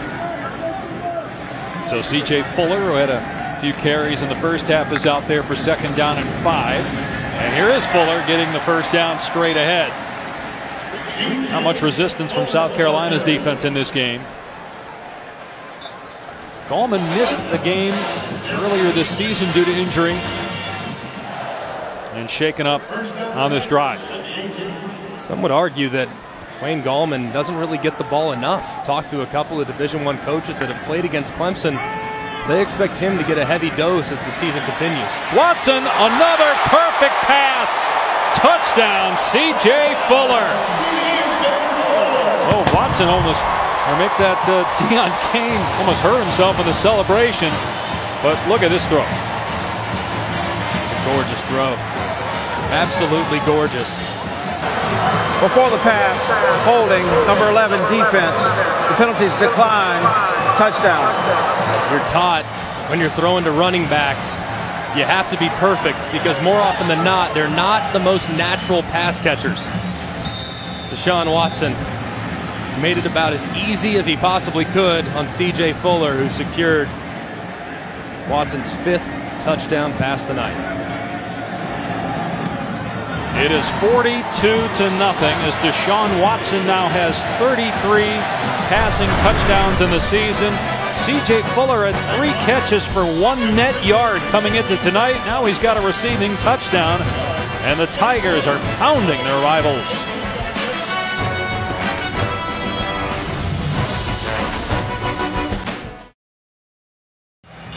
Dos Equis. I know that they went through a lengthy process to identify the new most interesting man. Tom Luginbill, did you submit your name for the possibility of taking over? No, they couldn't handle the boots. That's not, not, the only thing they couldn't handle with you, Tom. Not quite interesting enough, I suppose, is Mr. Tom Luginbill. However, he did do a snow angel in the big house just a week ago. Recovered a fumble in a hurricane as well as South Carolina elects to take a knee there, so it'll come out to the 25.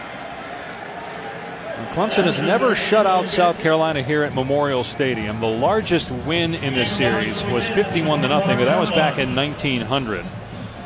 Second largest was uh, 45 nothing in uh, Columbia 1989. And it is 42 to nothing as uh, Jake Bentley not going here in the second half.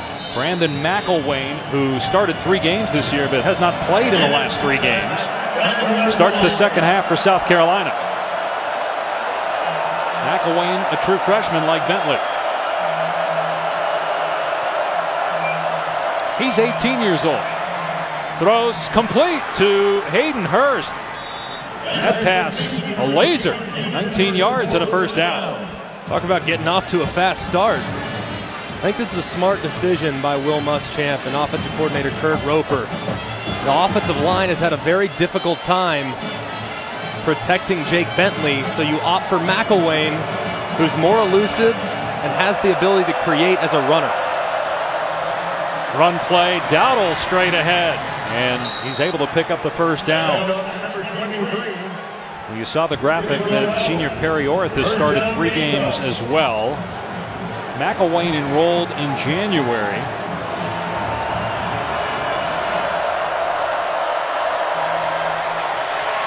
Here's Samuel out in space. Brought down immediately, though, on the catch. McIlwain's had his moments. I mean, he's a talented kid. A lot of South Carolina fans felt as though he could be the future. Had a nice spring. A lot of people thought he might start the opener against Vanderbilt. They opted for Perry Orth, but he's had moments as a college player, even though he's only a true freshman. McIlwain trying to set up the wide receiver screen that was read well and almost picked off by Christian Wilkins, dropping in coverage, and now a penalty flag is thrown. Man, how good is Wilkins? Again, a 310 pound defensive end. After the play, personal foul, unnecessary roughness, number 42 defense. 15 yard penalty, first down. Boy, that is a terrible call.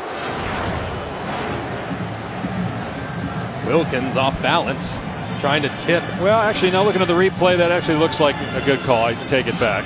Looking at the replay there, he definitely extended the arm and pushed. I still wouldn't call it. I mean, I, I understand that the extracurricular shove at the end, but I don't think there was anything malicious there that warranted a 15 yard penalty and a fresh set of downs. Uh, second thought, I, I, do think they got it right, Mac. I initially thought no, but I think they did get it correct. Here, here's going to be a pass, and the catch made by Edwards stays in bounds. Touchdown. Deebo Samuel throwing to Bryan Edwards, the best pass of the game for South Carolina. And the fans boo here because the shutout is gone. Great execution. Beautiful throw from Samuel. Wonderful job by Edwards, tight roping the sideline, scoring a touchdown. Edwards is going to be a heck of a player. He reminds me a little bit of Keyshawn Johnson. Big body, very physical. He has a bright future. And how about Deebo Samuel? Kick return for touchdown, now passing touchdown.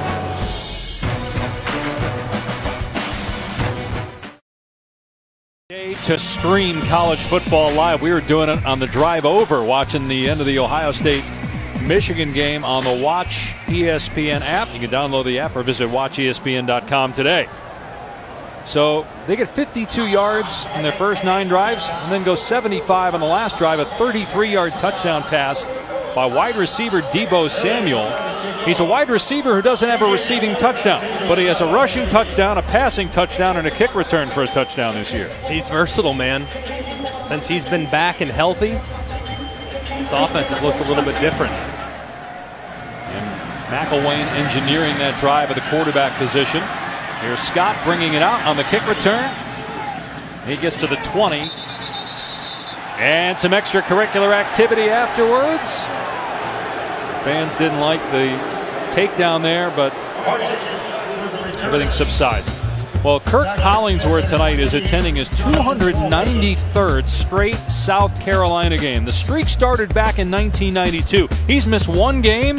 His cousin got married back in 92, but he's made it to every game since.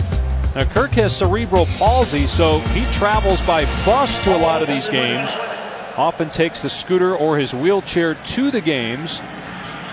And got a chance to talk with Kirk, uh, our crew did this week, and want to give him a shout out. He is a South Carolina super fan, although it's been rough to watch today with South Carolina getting run over, and literally they were on that play. C.J. Fuller just ran over the defensive end, DJ Wonnum. I'll say this about South Carolina, and I had the great fortune of playing in Williams-Brice. Fortunately, came out on the losing end of that one. But those fans love their football team. They're as supportive a group of fans as I've been around, and I'm grateful to know several of them. Obviously, Mr. Hollingsworth is one of them. Another run play on second down, and Fuller gets the first down. Again, Wayne Gallman was shaken up on the last drive. Fuller, who caught a touchdown pass on the last possession, moves the chains, picking up 10 yards. Have to wonder after the big hit that Wayne Gallman took on the last drive if it's going to be Fuller, Choice, and Feaster the rest of the night at running back. Snap was a little high, but you talked about the quick release. Look how quickly he got that ball down and then threw it out in space for a gain of a couple of yards there to Diondre Overton. Gets it out so quick, and what that does is it buys time for the wide receivers to decipher which move they're going to go with. The defenders can't break fast enough, so even when it is a high snap, he's able to deliver an accurate football and still turn it into a positive play.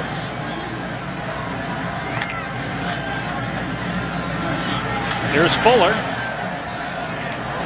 Got a couple of offensive linemen pushing him closer to the first down marker. Comes up just short. Bring up third down here for the Tigers. No, the one thing, Greg, you talk about with that quick release and, and, and allowing those receivers to do what they do best. The other thing that stands out to me is you can't rush Deshaun Watson. The ball's out so quickly. If you're going to apply pressure and you're going to come after him, you, you, you can't disguise it because you won't get to him. And that's something that is, is, I think it's innate. Guys can either do it or they can't do it. That's why coaches covet quick releases so much. They pick up the first down here. Fuller moving the chains, brought down by Steven Montac. Fuller came in with only 33 carries and three catches, getting a lot of work now with Gallman's injury. Talking to Jeff Scott, one of the offensive coordinators yesterday, he said in a perfect world, we want to have 500 yards of offense. Now, they might pass that tonight, but they'd love to have 300 through the air, 200 on the ground. That's their ideal ratio pass to rush. That's going to be a point of emphasis for them moving forward to continue to move the ball on the ground because you know Deshaun Watson's going to get his yards through the air. That was Adam Choice on the carry. They're going to get 500 yards on this drive. They're at 471 before that last play. There's Scott. And along with Tony Elliott, have done a really nice job taking over since Chad Morris left for SMU. Choice brought down in the backfield by Bryson Allen Williams. And again, so much at stake for Clemson, assuming it wins this game. It has Virginia Tech next week in the ACC championship game, which will be on ABC. Win that game, and they're going to be in the playoff for the second straight year. They were the one seed going in last year and went toe to toe with Alabama before falling in one of the great championship games we've ever had. 45 40 was the final score in Glendale. Watson with a ton of time. Receiver comes free. It's Cain getting the first down to the 30 yard line. They're right at 500 yards as a team. They pick up 34 there. 502 to be exact, my friend. Great anticipation and just a perfect throw. That's not an easy throw for a quarterback. Seeing where the defenders aren't, throwing it down the field 20 plus yards and delivering it right on the face mask of Cain. Deshaun Watson makes difficult throws look so easy, and he does it time and time again. He's over 300 passing yards now on the day. Going to go to the end zone again, and another beautiful throw. Touchdown, Cain. But there's a flag. Cain looked like he pushed off on the defender, Steven Montac. This is going to be offensive pass interference. Pass interference, number eight, offense. 15 yard penalty from the previous spot. Replay first down. Yeah, we could see that live. Looked like it was a good call by the official. I know that the history of this rivalry, there is a play that's eloquently referred to as the push off or the catch, I believe, depending on which side you're right, on. Exactly, right. Yeah. I don't know if that will be remembered in such infamy or lore, but clearly a push off and a good call by the officials. That would have been touchdown number six for Deshaun Watson. Instead, it's first and 25 on the South Carolina 45 yard line. He whips it out to McCloud past the 40 yard line. McCloud gets the first down. And a violent tackle there on the sideline by Smith, but no penalty flag. So here's what you're talking about here. That's Dantzler throwing the ball and then a push off setting up the game-winning field goal. Yeah, that's so I know that it depends on which way you view that play. You either love it or you can't stand it. The play looked a little bit similar though from Cain. Adam Choice stumbles to the 28 yard line.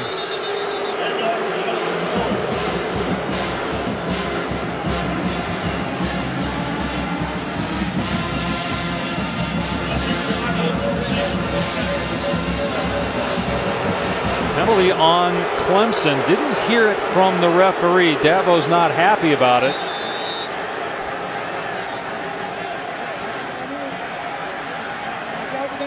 Perhaps just a sideline warning. Again, couldn't hear it, but the flag didn't drop and they didn't march the ball back at all. So it's third down and seven.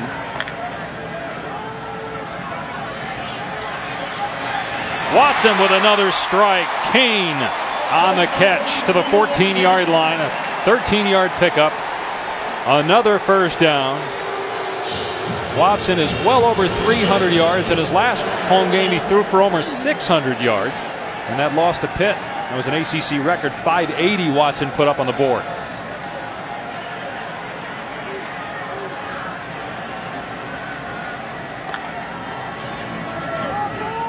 Here's Adam Choice picking a hole and getting in the nine yard line. So remarkable to see this Clemson offense. You have a touchdown wiped off the board. You're sitting there now after an offensive pass interference, first and 25. Two plays, you're immediately back with a fresh set of downs, and you keep the drive going. This team answers the call. Have they looked great every single time out? No. But they seem to respond to adversity extremely well. 13th play of the drive. It's Scott. Banged out of bounds, but close to a first down.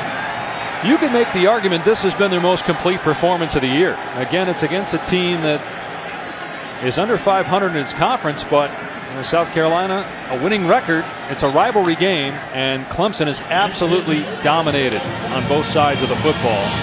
They've had so many close games this year. Now they've beaten good teams. They, they knocked off Auburn, Florida State, Louisville.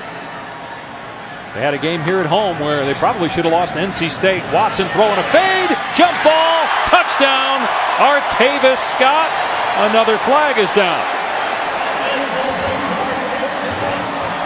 Who are they going to get here? They got Cain for offensive pass interference.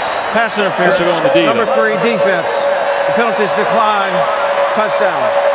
So there is touchdown number five for Watson. Scott, who is playing his final home game with a touchdown catch. Six touchdown pass for Watson, excuse me. It's just fighting for the football. Contact on both sides. They called pass interference on Lamb, but that really could have gone either way. That's just fighting for it, wanting it more than the defender. It is 49 to 7 Clemson. Six touchdown passes for Deshaun Watson. Artavis Scott with his fifth of the season, 19th career, that's fourth most in Clemson history.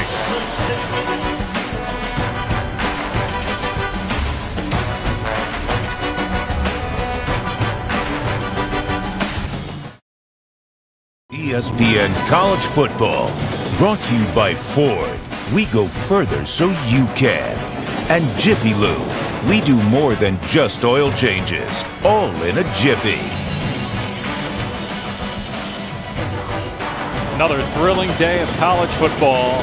How about James Franklin and the turnaround at Penn State as we welcome you back to ESPN College Football Primetime presented by Hampton by Hilton, part of ESPN's rivalry series presented by Jiffy Lube. The Nittany Lions are in the Big Ten championship game. Ohio State is in the clubhouse waiting to see if it will make the college football playoff. Currently sitting at number two, beat its rival Michigan today in double overtime. Alabama, undefeated regular season, and will now face Florida in the SEC championship game as Samuel makes it back to the 30.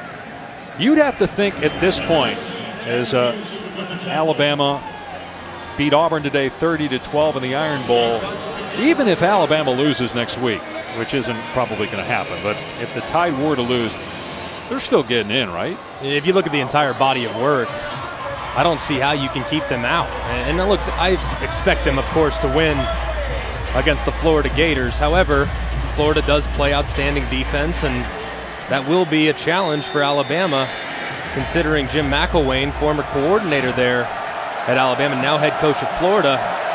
He knows that team like the back of his hand. You did a really good job. So all the Florida fans now will not tweet at you and get upset. as boy, McIlwain absolutely got smoked, but that pass was right there. Samuel couldn't haul it in, in part because of the defense from Marcus Edmond. I think without question, Alabama is likely to be the number one seed. Clemson is making a great case for the number two seed. Look at the pressure. Just relentless even when you don't have the starters in. Albert Huggins there listed as a backup to Watkins, still applying the pressure on McIlwain. McIlwain running here, and he stood up by Smith after a gain of about three. So you mentioned seeding. Now, Clemson still has to beat Virginia Tech next week to get into the college football playoff. But if we're talking body of work and you look at all the close games that they played, I still think Ohio State is ahead of Clemson because the Buckeyes have the Oklahoma win. They have the win at Wisconsin. And their one loss was on a blocked field goal returned for a touchdown. But the committee values conference championships won, which could, in a very difficult way to determine between the two, could give Clemson the boost over Ohio State. McIlwain has the ball stripped, and Boulware wanted to pick it up and score. Instead, Dowdle's got it, and he's finally shoved out of bounds. Boulware hacked it out of McIlwain's arm, and his eyes got big. He saw dirt, a touchdown in the rivalry game. He just couldn't pick up the ball. So difficult when the ball's just sitting there. Look at the pressure. Boulware coming off the right edge, winning very easily and getting a hand on the football. Great effort by the outstanding linebacker. Every time you watch this Clemson defense, you're blown away by a few things. One, how good they are up front and how deep they are up front. Two, their secondary and how they close on the football when it's in the air. Third, certainly not last, Ben Boulware's a stud. Go to Adnan in the studio.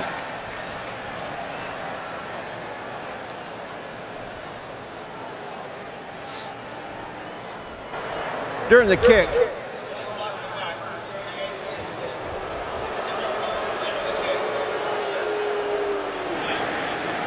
and a matchup with Washington next week. There was a penalty marker on the play. Block in the back on Clemson. And Deshaun Watson's done for the day. Nick Schuessler is going to come in. Now, this is interesting. Look, the game's over. Clemson's going to win.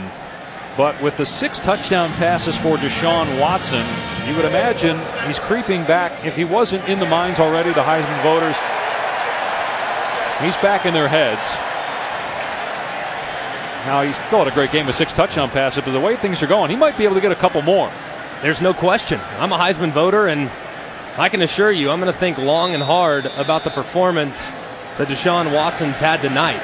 So many people came in with unbelievable expectations for that young man this season, statistically and what they've done offensively, but he belongs, I think, on everyone's ballot given his body of work, his leadership qualities, and how in the biggest moments he seems to provide us with the biggest plays of the season. I'll tell you, Greg, he's also been helped out by Louisville's previous two weeks. No question. The wrong place at the wrong time. If you're studying Deshaun Watson, you don't think he's in the top two or three for the Heisman Trophy, you're not watching college football. How about true freshman Tavian Feaster moving the sticks? We showed you those numbers, and it, you almost had to like do a double take. He has as many touchdowns as he has incompletions in this game. Lamar Jackson has brought himself back to the pack the last couple of weeks. He still has to be the favorite, but Watson's right there. But traditionally, voters have heavily valued what the candidate's team has done. Clemson wins, obviously, tonight. Clemson wins next week. Deshaun Watson has a big day against Virginia Tech. There's going to be a lot of consideration for number four. Well, nobody's talking about Baker Mayfield tonight because he's not playing. Right. But if he were to beat Oklahoma State next week and have a big game, or if Westbrook has a big game, That's the problem is Baker Mayfield and Dede Westbrook, quarterback, wide receiver, respectively for the Oklahoma Sooners. I think they might split some votes between the two because it's tough to decipher who's more important and who's more valuable to their team. Schuessler on second and nine. And throws it behind McCloud. That was a live ball. McCloud did a good job to catch that thing. Otherwise, that would have been a fumble. Antoine Wilder was out there, so it's third down here for Clemson. I tell you, Greg, to your point, uh, as it relates to, to Oklahoma and Baker Mayfield and Dede Westbrook, again, two losses. You know, outside of RG3, it's tough to find a Heisman winner that wasn't on a undefeated or, you know, a one-loss team. And the numbers for RG3 were just ridiculous Yeah. that you, you had to vote him as the Heisman winner that year. I will say this, guys, and getting back to your, your, your discussion on, on where you put Ohio State, uh, we've seen them a couple of times. We've now seen Clemson a couple of times. Ohio State's not playing the same football this team here in Orange is playing. Schuessler sacked by Marquavius Lewis. But I think you also have to look at the, the, the, the level of the opponents, right, guys? I mean, Ohio State playing Michigan today. I know you could say, well, Michigan State last week, that's a game they should win by much more, but that has become a rivalry game. South Carolina, this is their first warning. Fourth Sideline down. warning on South Carolina, fourth down here for Clemson. They're just not in sync, Dave, on offense the way this Clemson team is. No, it's a great point. Look, Ohio State, it's been that, like that all year. It's been a struggle offensively. I mean, they Yep. had that back to back 60 point games, but otherwise, they've been extremely inconsistent offensively. You're right. Just JT Barrett, I don't think he's the same player throwing it that Deshaun Watson is. totally, I agree with and that. it all revolves around the quarterback position when you look at both Clemson and Ohio State's offenses. I also think the supporting cast that Clemson has, particularly at wide receiver, I think they are a little bit better than what we see from Penalties the Buckeyes. decline. Fourth down. They decline the delay of game penalty. You know, it, it may end up being that uh, they get to decide it on the field, Clemson and Ohio State. sure. Going back and forth between who should be two, who should be three. All that really changes is what jersey color you wear. Right.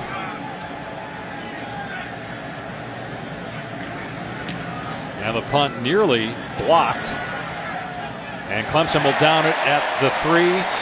Tankersley was down there for the Tigers. Expedia reminds us that we're at Memorial Stadium in Clemson, South Carolina. This SEC ACC matchup. It has been all Tigers. Deshaun Watson early and often. He ties his career high and the ACC record with six passing touchdowns. Three of them in the first half to star wide receiver Mike Williams. Both players playing their final home games. But obviously, they have bigger things on their mind, and that's getting back to the national championship game, this time winning it. Well, fell to Alabama last year. A win next week for Clemson in the ACC title game, and you'd think the committee will put them in the top four. A.J. Turner to the 10 yard line. See if that's the final play of the third.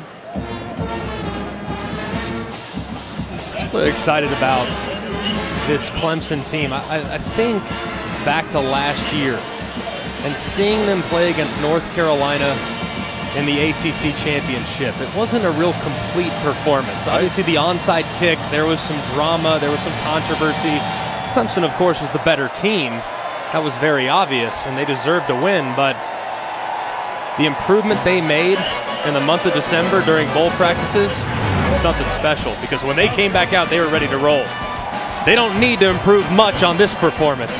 It's been all Clemson here at Death Valley.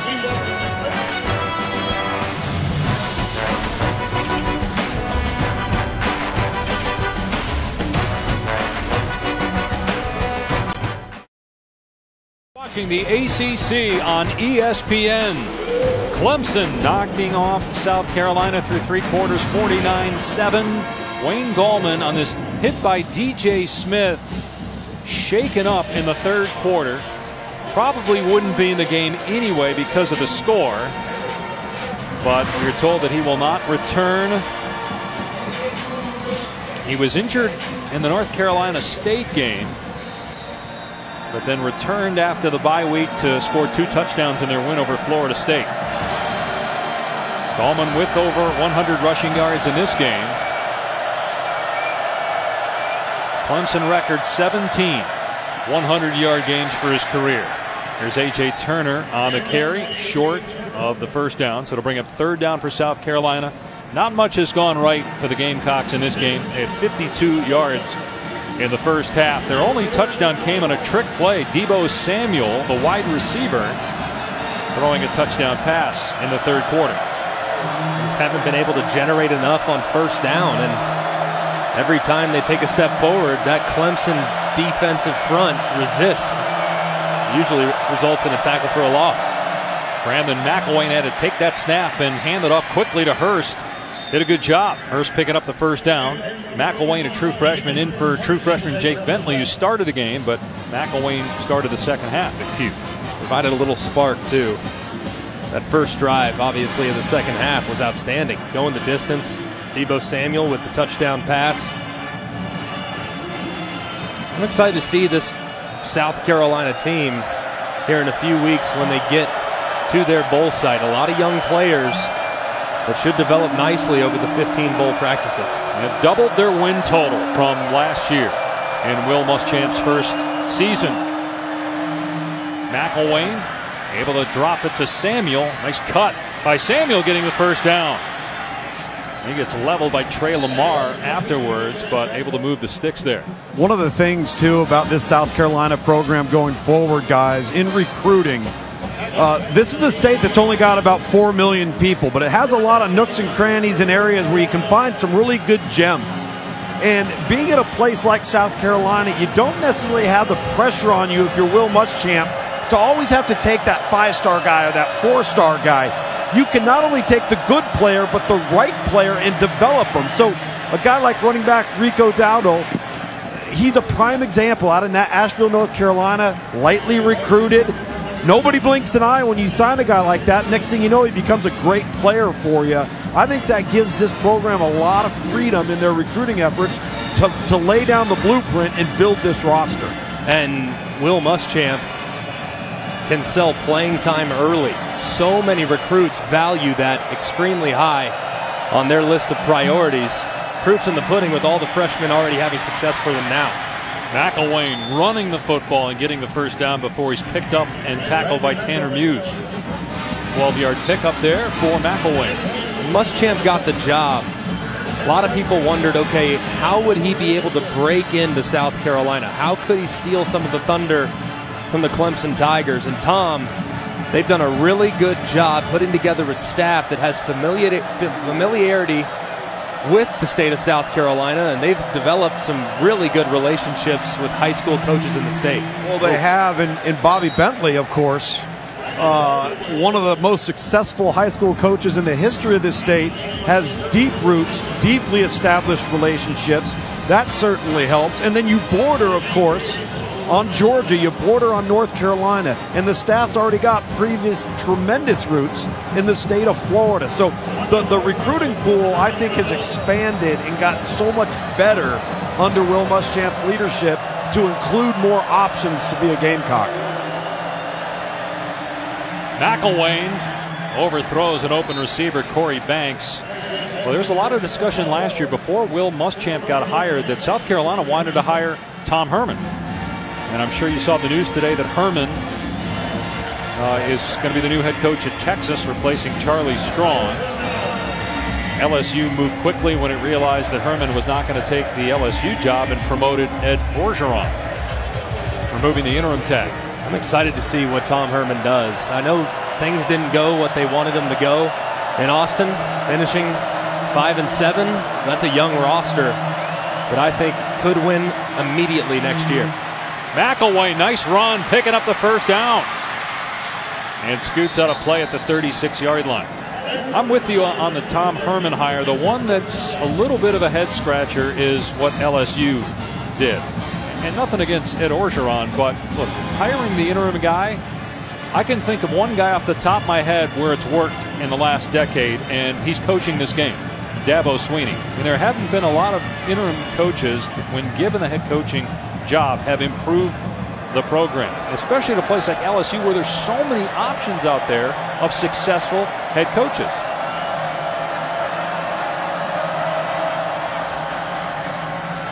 McIlwain dumps it off to A.J. Turner, and he's to the 31. And back to Ed Orgeron.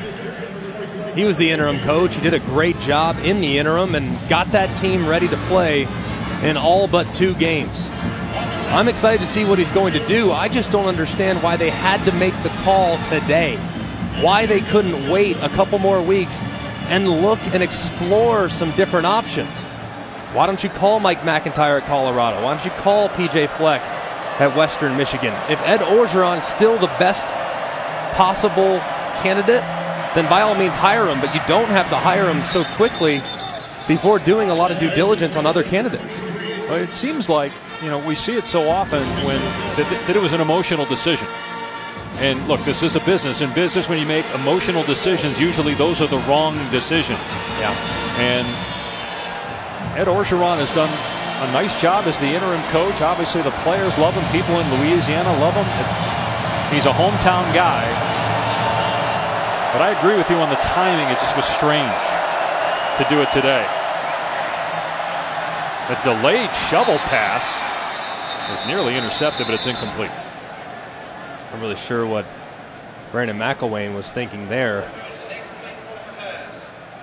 While we're talking about uh, you know removing the interim tag, remember Dabo Swinney, his victory against South Carolina eight years ago, that secured the job for him. And you look at now what he's been able to do. This is six consecutive 10 win seasons. They won 14 last year. This will be win number 11 tonight. One step closer to a college football playoff berth if they can win the ACC championship against Virginia Tech. McIlwain on fourth down.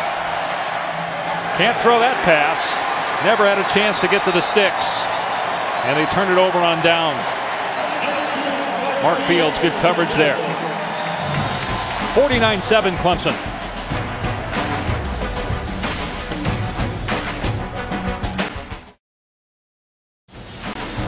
Dave Pasch, Greg McElroy, Tom Luginbill at Clemson. The Tigers all over South Carolina 49 to 7 as Clemson tries to get its 11th win of the season. Rivalry series presented by Jiffy Lube as we Got you covered, brought to you by Jiffy Lube. Clemson's defense tonight, a big story with eight tackles for a loss and three sacks. They held South Carolina to 52 yards in the first half. What were you more impressed with tonight, Deshaun Watson or the defense for Clemson? It has to be Deshaun Watson. This defense has played well the last few weeks, and he made them look very average over the course of the night. Tyshon Dye is in the game and gets the carry with Nick Schuessler still in there at quarterback. And Dye thrown to the ground, but Clemson players don't retaliate there. John Simpson, a true freshman backup guard, is injured for Clemson. There was pushing and shoving in pregame, but really nothing substantial in the way of extracurriculars in game. Back in a moment.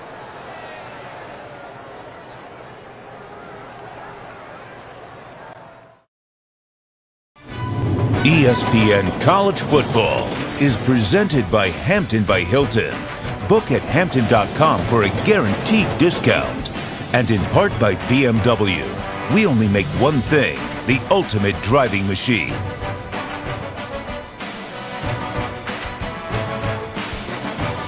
Well, it's the first time that the Clemson crowd has been quieted in this game, and that's because true freshman John Simpson is being helped onto the cart here after being injured on the last play.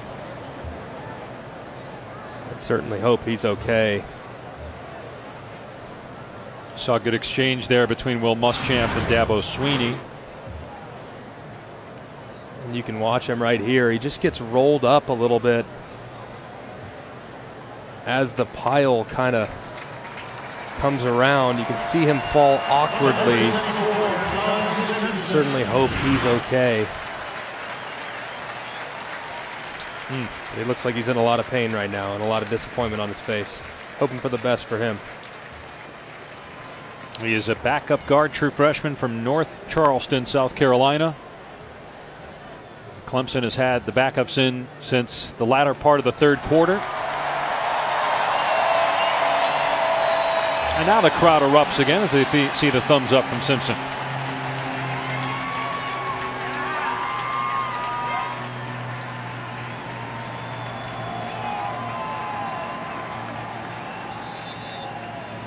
So Clemson on top 49 7. It's second and six for the Tigers on their 36. Nick Schuessler is in the game at quarterback. He threw for two touchdowns. And a backup role against Syracuse in a 54 to nothing win three weeks ago. Deshaun Watson hurt his right shoulder in that game, and we weren't sure if he was going to be able to go the next week against Pitt. And he comes out and he throws for almost 600 yards. They lost that game, but he had the game of his life as uh, Powell gets the catch and is out near midfield. Take a look at tonight's AFLAC trivia question. South Carolina and Clemson have met every year since 1909. That is the second longest active and uninterrupted series among current FBS teams. Which two teams have the longest? And I'm not going to allow our sideline analyst Tom Luginbill to answer this question because because Tom nearly froze to death uh, in one of those rivalry games a few years That's ago. That's right, because you know I know it. Thompson gets the first down for Clemson. So do you have a take? Well, I've been with you guys long enough this year to realize that Tom has complained about that particular game in Minnesota enough to warrant me feeling bad for him on occasion. So I know that's one of the teams, and I'm trying to think of who it was against. I'm going to say Ohio State. No. I'll give you a hint. They played today. Come on. Tyshon Dye at the 38 yard line. Remember the Axe? They play for the Axe, Wisconsin and Minnesota. They played every season since 1906. That's the answer to our Aflac trivia question. I want Greg to broadcast a game with Vaseline wiped all over his face. Oh, I love it. I love that I had just answered that one incorrectly on purpose just so you could make fun of me because I was giving you a hard time. Yeah, I bet. Thanks, buddy. I know who Ohio State's rival is. Tyshon Dye just moving the pile at a fistful of one of the defenders. Now, speaking of uh, the axe, there it is. Wisconsin now in the Big Ten championship game against Penn State next week. They were trailing 17 to 10. Hornibrook, their quarterback, got hurt in that game. But what a year for Paul Chryst and the Badgers. They one of their losses was at Michigan by a touchdown. Their other was at home in overtime to Ohio State. Guy trying to fight off tacklers and gets a yard. Going back to Wisconsin, coming into the season, you looked at their schedule and you said, man, it's going to be tough for them to get to seven, eight wins. But sure enough, now they're in the Big Ten championship, 10 and 2, a couple of very close losses and a lot of very convincing wins against top quality competition in the Big Ten. Boy, the battle for Coach of the Year in the Big Ten, it's like the hottest race in the history of the conference in terms of Coach of the Year. As the catch is made by Cameron Smith. When you look at what James Franklin has done and what Paul Chryst has done, their respective schools, yeah. And of course, you got two of the best coaches in the game, Jim Harbaugh and Urban Meyer. Can't forget about them.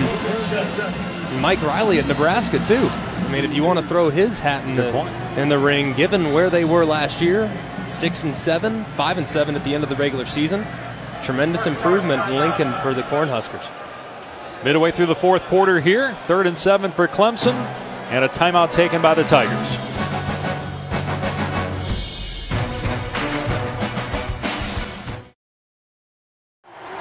Wow.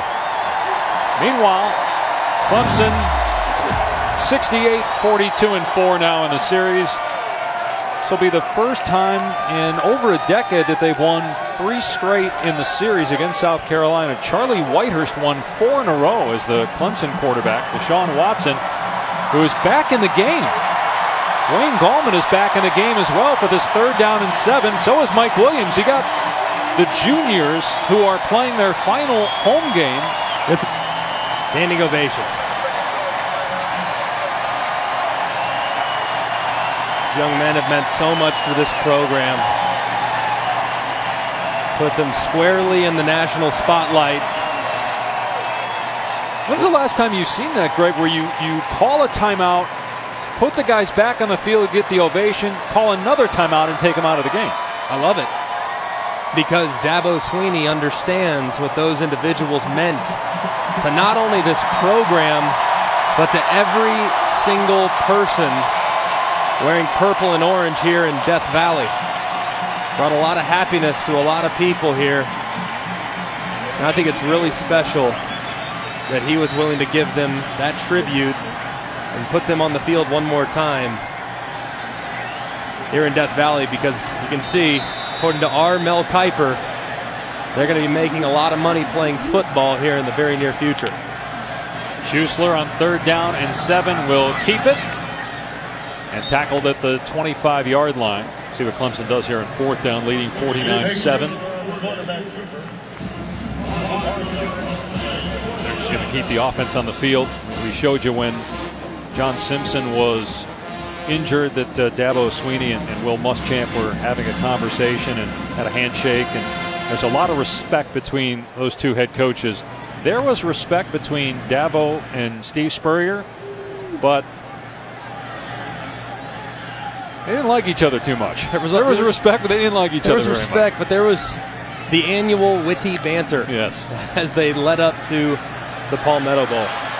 Schuessler taking off on fourth down, trying to keep his balance. And he's got the first down. The grad student from Grayson, Georgia. Not as graceful as Deshaun Watson running the ball, but got the job done. Lost a shoe as well. Crowd erupting in shoe there when he picked up the first down, but they might have been telling him that his shoe came off too. I mean, it was hard to tell could which have been one. Both. I'm not really sure. Hard to decipher, no doubt. Tyshon Dye getting the carry, fights to the 12-yard line. So the next game for Clemson, Virginia Tech in the ACC championship game. And if the Tigers win that game, you would assume they'll be in the college football playoff dropped two spots two weeks ago after that home loss to Pitt. You would think with Michigan losing to Ohio State that they'll move up to three this week. We've got the uh, college football playoff ranking show for you on Tuesday night on ESPN. Feaster off the left side on second down, come up just short. Bring up third, about two. No, guys, we were you know, talking about the tribute that Dabo Swinney just had with some of those seniors and, and, the juniors that are departing early that have made such an impact on this program. When I was going back through the recruiting classes, when you look at the 2013 recruiting class, and you start scrolling through the names, and then you start putting the years together and realizing when this program had a renaissance. When did everything start changing? In that 2013 class, you had the corner Mackensie Alexander, Shaq Lawson, Ben Boulware, who's been everywhere tonight. Mike Williams, the big receiver. All right.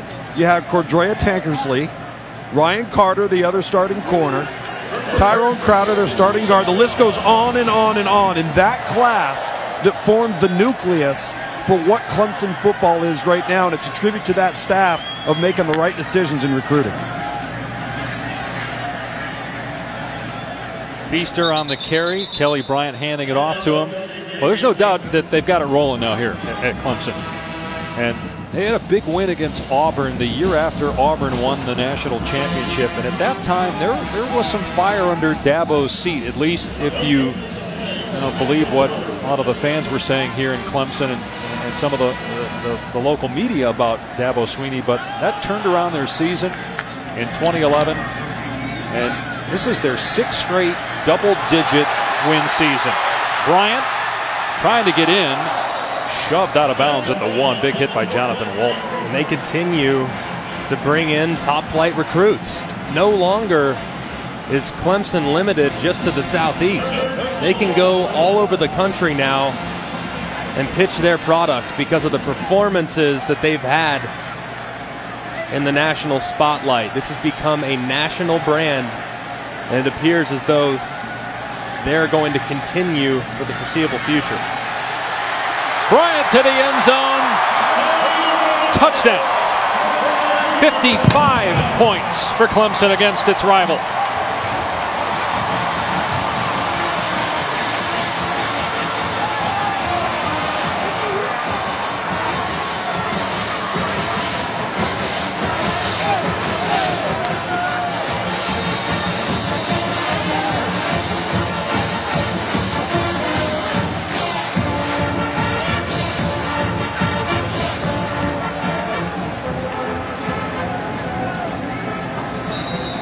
Performance for the Clemson Tigers tonight. Clemson had to call a timeout there. They didn't have the right personnel on the field for the extra point. See Seth Ryan, Rex Ryan's son, Rob Ryan's nephew. He was yelling like his dad would have done. He's the holder for the field goal and extra points. He was fired up. Well, and then Dabo Swinney was just telling the referee, Mark Curles, that he didn't want time out there. He would just rather have taken the penalty. Yeah. Extra point makes it 56-7. Well, the stars have shined brightly under the lights here at Clemson. Mike Williams, Deshaun Watson, Wayne Gallman, among the juniors playing their final game here in front of the hometown fans, and they have done a terrific job with 56 points.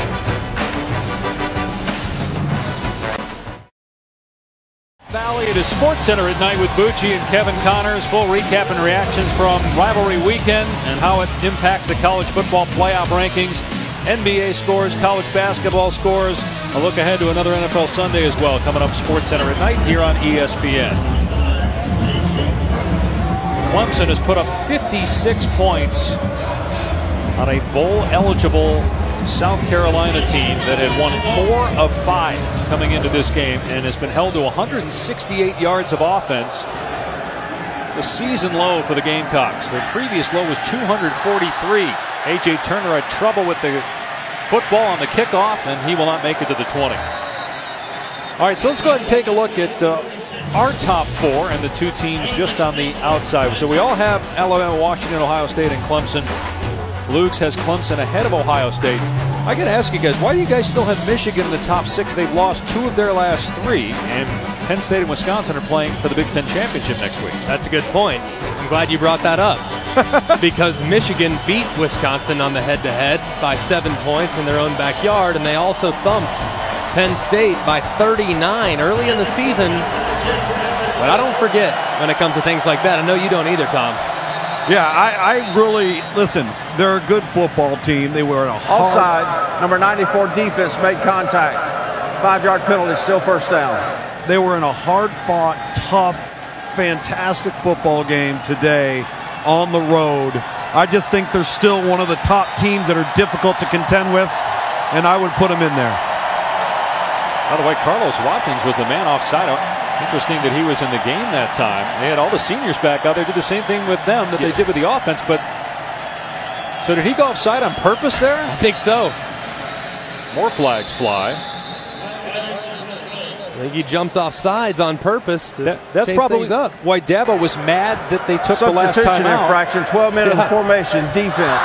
He was mad they Five-yard called timeout before a because I think he wanted to use that timeout there so that he he didn't have to have their defense out to try to rub it in or anything against uh, the backups for South Carolina. I like the decision to take the forced offsides, I suppose. Not as much of a send up off as the offense got, but they certainly deserve it. What a performance by this Clemson defense tonight.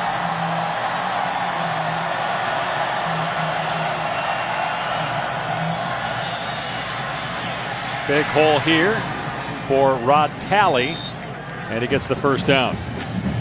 So the Clemson senior class with 46 wins, their winning percentage is the best in school history. They'll finish with just two losses at Memorial Stadium. Last year, of course, losing to Bama in the college football playoff national championship game. And if they beat Virginia Tech next week in the ACC title game, they will compete for a championship again, making the college football playoff. Straight ahead, it's Tally, and he stood up and pushed back as the clock continues to run. Tom, you had Clemson ahead of Ohio State. Yeah, I've got Clemson ahead of Ohio State, and I also put SC at number six. I, I think that I place a lot of credence in are you peaking at the right time? Are you playing your best football down the stretch? Are you going into the, the break between now and when you will end up making your bowl appearance? And what type of team are you then? And right now, as we talked a little bit earlier about Clemson, I just, I, I, they're so much better and dialed in right now on offense than where Ohio State is right now. And they're more experienced and I think deeper along the defensive front than Ohio State. Ohio State's young and talented, but they don't have this rotational group, in my opinion, that Clemson's got in their defensive front. Greg, why do you have Ohio State ahead of Clemson right now? Well, I just think Ohio State's body of work, they have beaten, obviously, a tremendous opponent in Oklahoma. They beat the number six team in the rankings, according to me. That's the Wisconsin Badgers. They, of course, beat Michigan. I just think the entire body of work right now through 12 games I would have them ahead of Clemson just ever so slightly. Tally gets the first down. ACC Big Ten challenges this week, and Tuesday at 9:30 on ESPN, it's Duke and Michigan State from Cameron Indoor. It's also streaming live on the ESPN app and watch ESPN. The penalty marker down back at the 38-yard line of South Carolina. I think all of us thought coming in that Clemson would win this game, but the way that it went down unnecessary roughness called in South Carolina. I, I, didn't think it would be this kind of a thrashing, given how well South Carolina had played defensively the last month. But as the coaches said in the meetings yesterday, and Tom mentioned it in the open, the loss woke this team up. Yeah. Two weeks ago. Gave them a sense of urgency. It taught them that there are a lot of things that they can improve upon. They hadn't experienced adversity like that in the regular season in some time since Georgia Tech in the 2014 season. That was the last game they lost in the regular season. So it was a wake up call, and it allowed the leadership to come to the forefront. And clearly, the last couple weeks, they've played like a team that is very focused. Talley pushed out of bounds. Yeah, they had won 23 straight regular season games and 21 in a row at home prior to that loss to Pittsburgh. They bounced back with the road win at Wake Forest, scoring touchdowns on their first four possessions last week. And they stopped South Carolina early here tonight, and now the Gatorade bath awaits. Jay Guillermo and Dabo does a pretty good job. He saw it coming from Watkins. Showed he still has the quicks from his days playing at Alabama.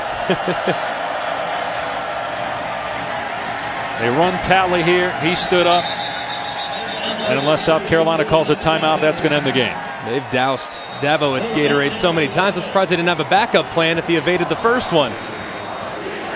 Good for these seniors going out in their final opportunity in Death Valley, going out a winner against their bitter in-state arch rival. And Dabo Swinney embracing his quarterback, Deshaun Watson.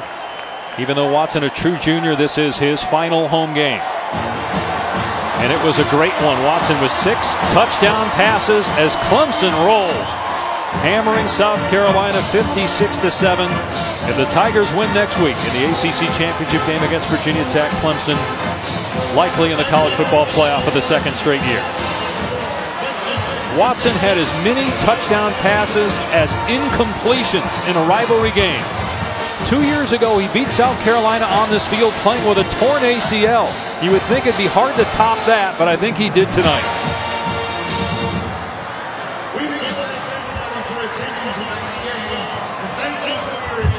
Coming up next on ESPN, it's Sports Center.